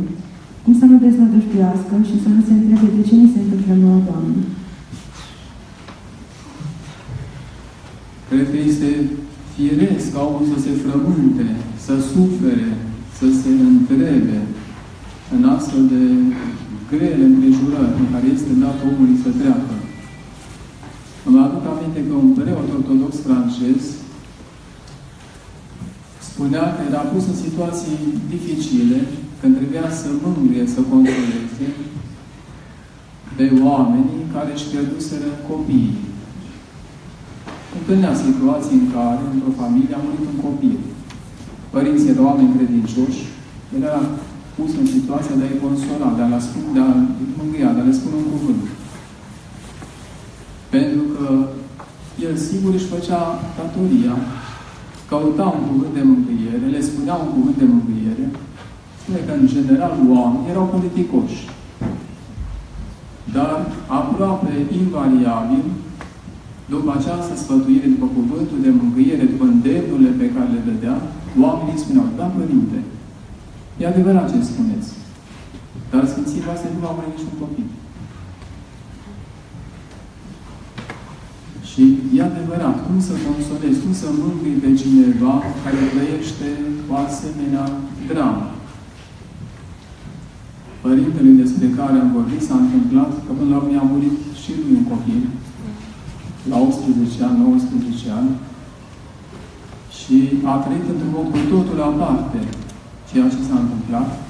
Și apoi, sigur, și cuvântul lui de mângâiere către cei care pățeau ceva asemănător, devenise un cuvânt cu putere. Cum să nu deznădăjduiască într-o asemenea situație, să-i ajute Dumnezeu, că nu pot să spun altceva, să simtă, să cunoască harul care este ascuns într-o asemenea încercare. Pentru că într-o asemenea încercare este ascuns un har. Și în momentul în care sufletul se va îndulci de harul care se află ascuns în acea încercare, în momentul acela, nu că nu vă mai simți greu încercării, dar nu vor mai ajunge la deznădejde. Când într-o familie cu mulți copii, starea sufletească a soților este dăunătoare copiilor, este de preferat divorțul sau simplul fapt de a fi cu cei doi părinți? Sau simplul fapt de a fi cei doi părinți alături de copii? Soții sunt sub îndrumarea duhovnicilor. L-am auzit pe Părintele Nicola Saharov, nepotul Părintelui Iuliosului Părinte Sofronic de la Essex, spunând cuiva care întreba dacă să divorțeze, va anumită situație de familie, și deși era o altă situație de familie decât aceasta, Răspunsul părintelui a fost, nu cred în divorț. Și același lucru sunt tentat și eu să spun. Sigur că se pune problema copiilor, dar nu cred că divorțul este o soluție. Dacă sunt sub îndrumarea duhovnicilor, să rămână sub îndrumarea duhovnicilor, să ceară milă și ajutor de la Dumnezeu, pentru că copiii au nevoie de ambii părinți. E foarte greu pentru copiii care cresc doar cu unul dintre părinți. De dragul copiilor, să lupte să treacă fiecare peste egoismul lui, ca să nu se ajungă la divorț. Și îmi vine în minte acum o, o întâmplare la Părintele Sofronie. Au venit doi oameni, soț și soție, ajunseseră într-un impas. Era un pragul divorțului. Și Părintele a întrebat-o mai întâi pe ea. Cât crezi tu că este vina ta pentru că s-a ajuns aici, pentru că între voi s-a ajuns la asemenea stare? Și ea a spus, Părintele, 5% este vina mea. 95% este vina mea. Părintele nu a contrazis-o. Nu s-a împotrivit cuvântului ei, nu a încercat să o lămurească, să o facă să-și caute vinovăția mai mare decât și-o recunoștea. Ce a spus altceva. Bine, ia-te pe tine serios. Dacă spui că 5% chiar știi, știi clar și sigur că ești vinovat, ia-te în serios. Și încearcă să îndrepți aceste procente ale vinovăției care această vinovăție a ta de 5% încearcă să o îndrepți și atunci poate că cele 95% ale lui vor dispărea. Mulțumim, Părinte, pentru cuvintele împărtășite. Mulțumim de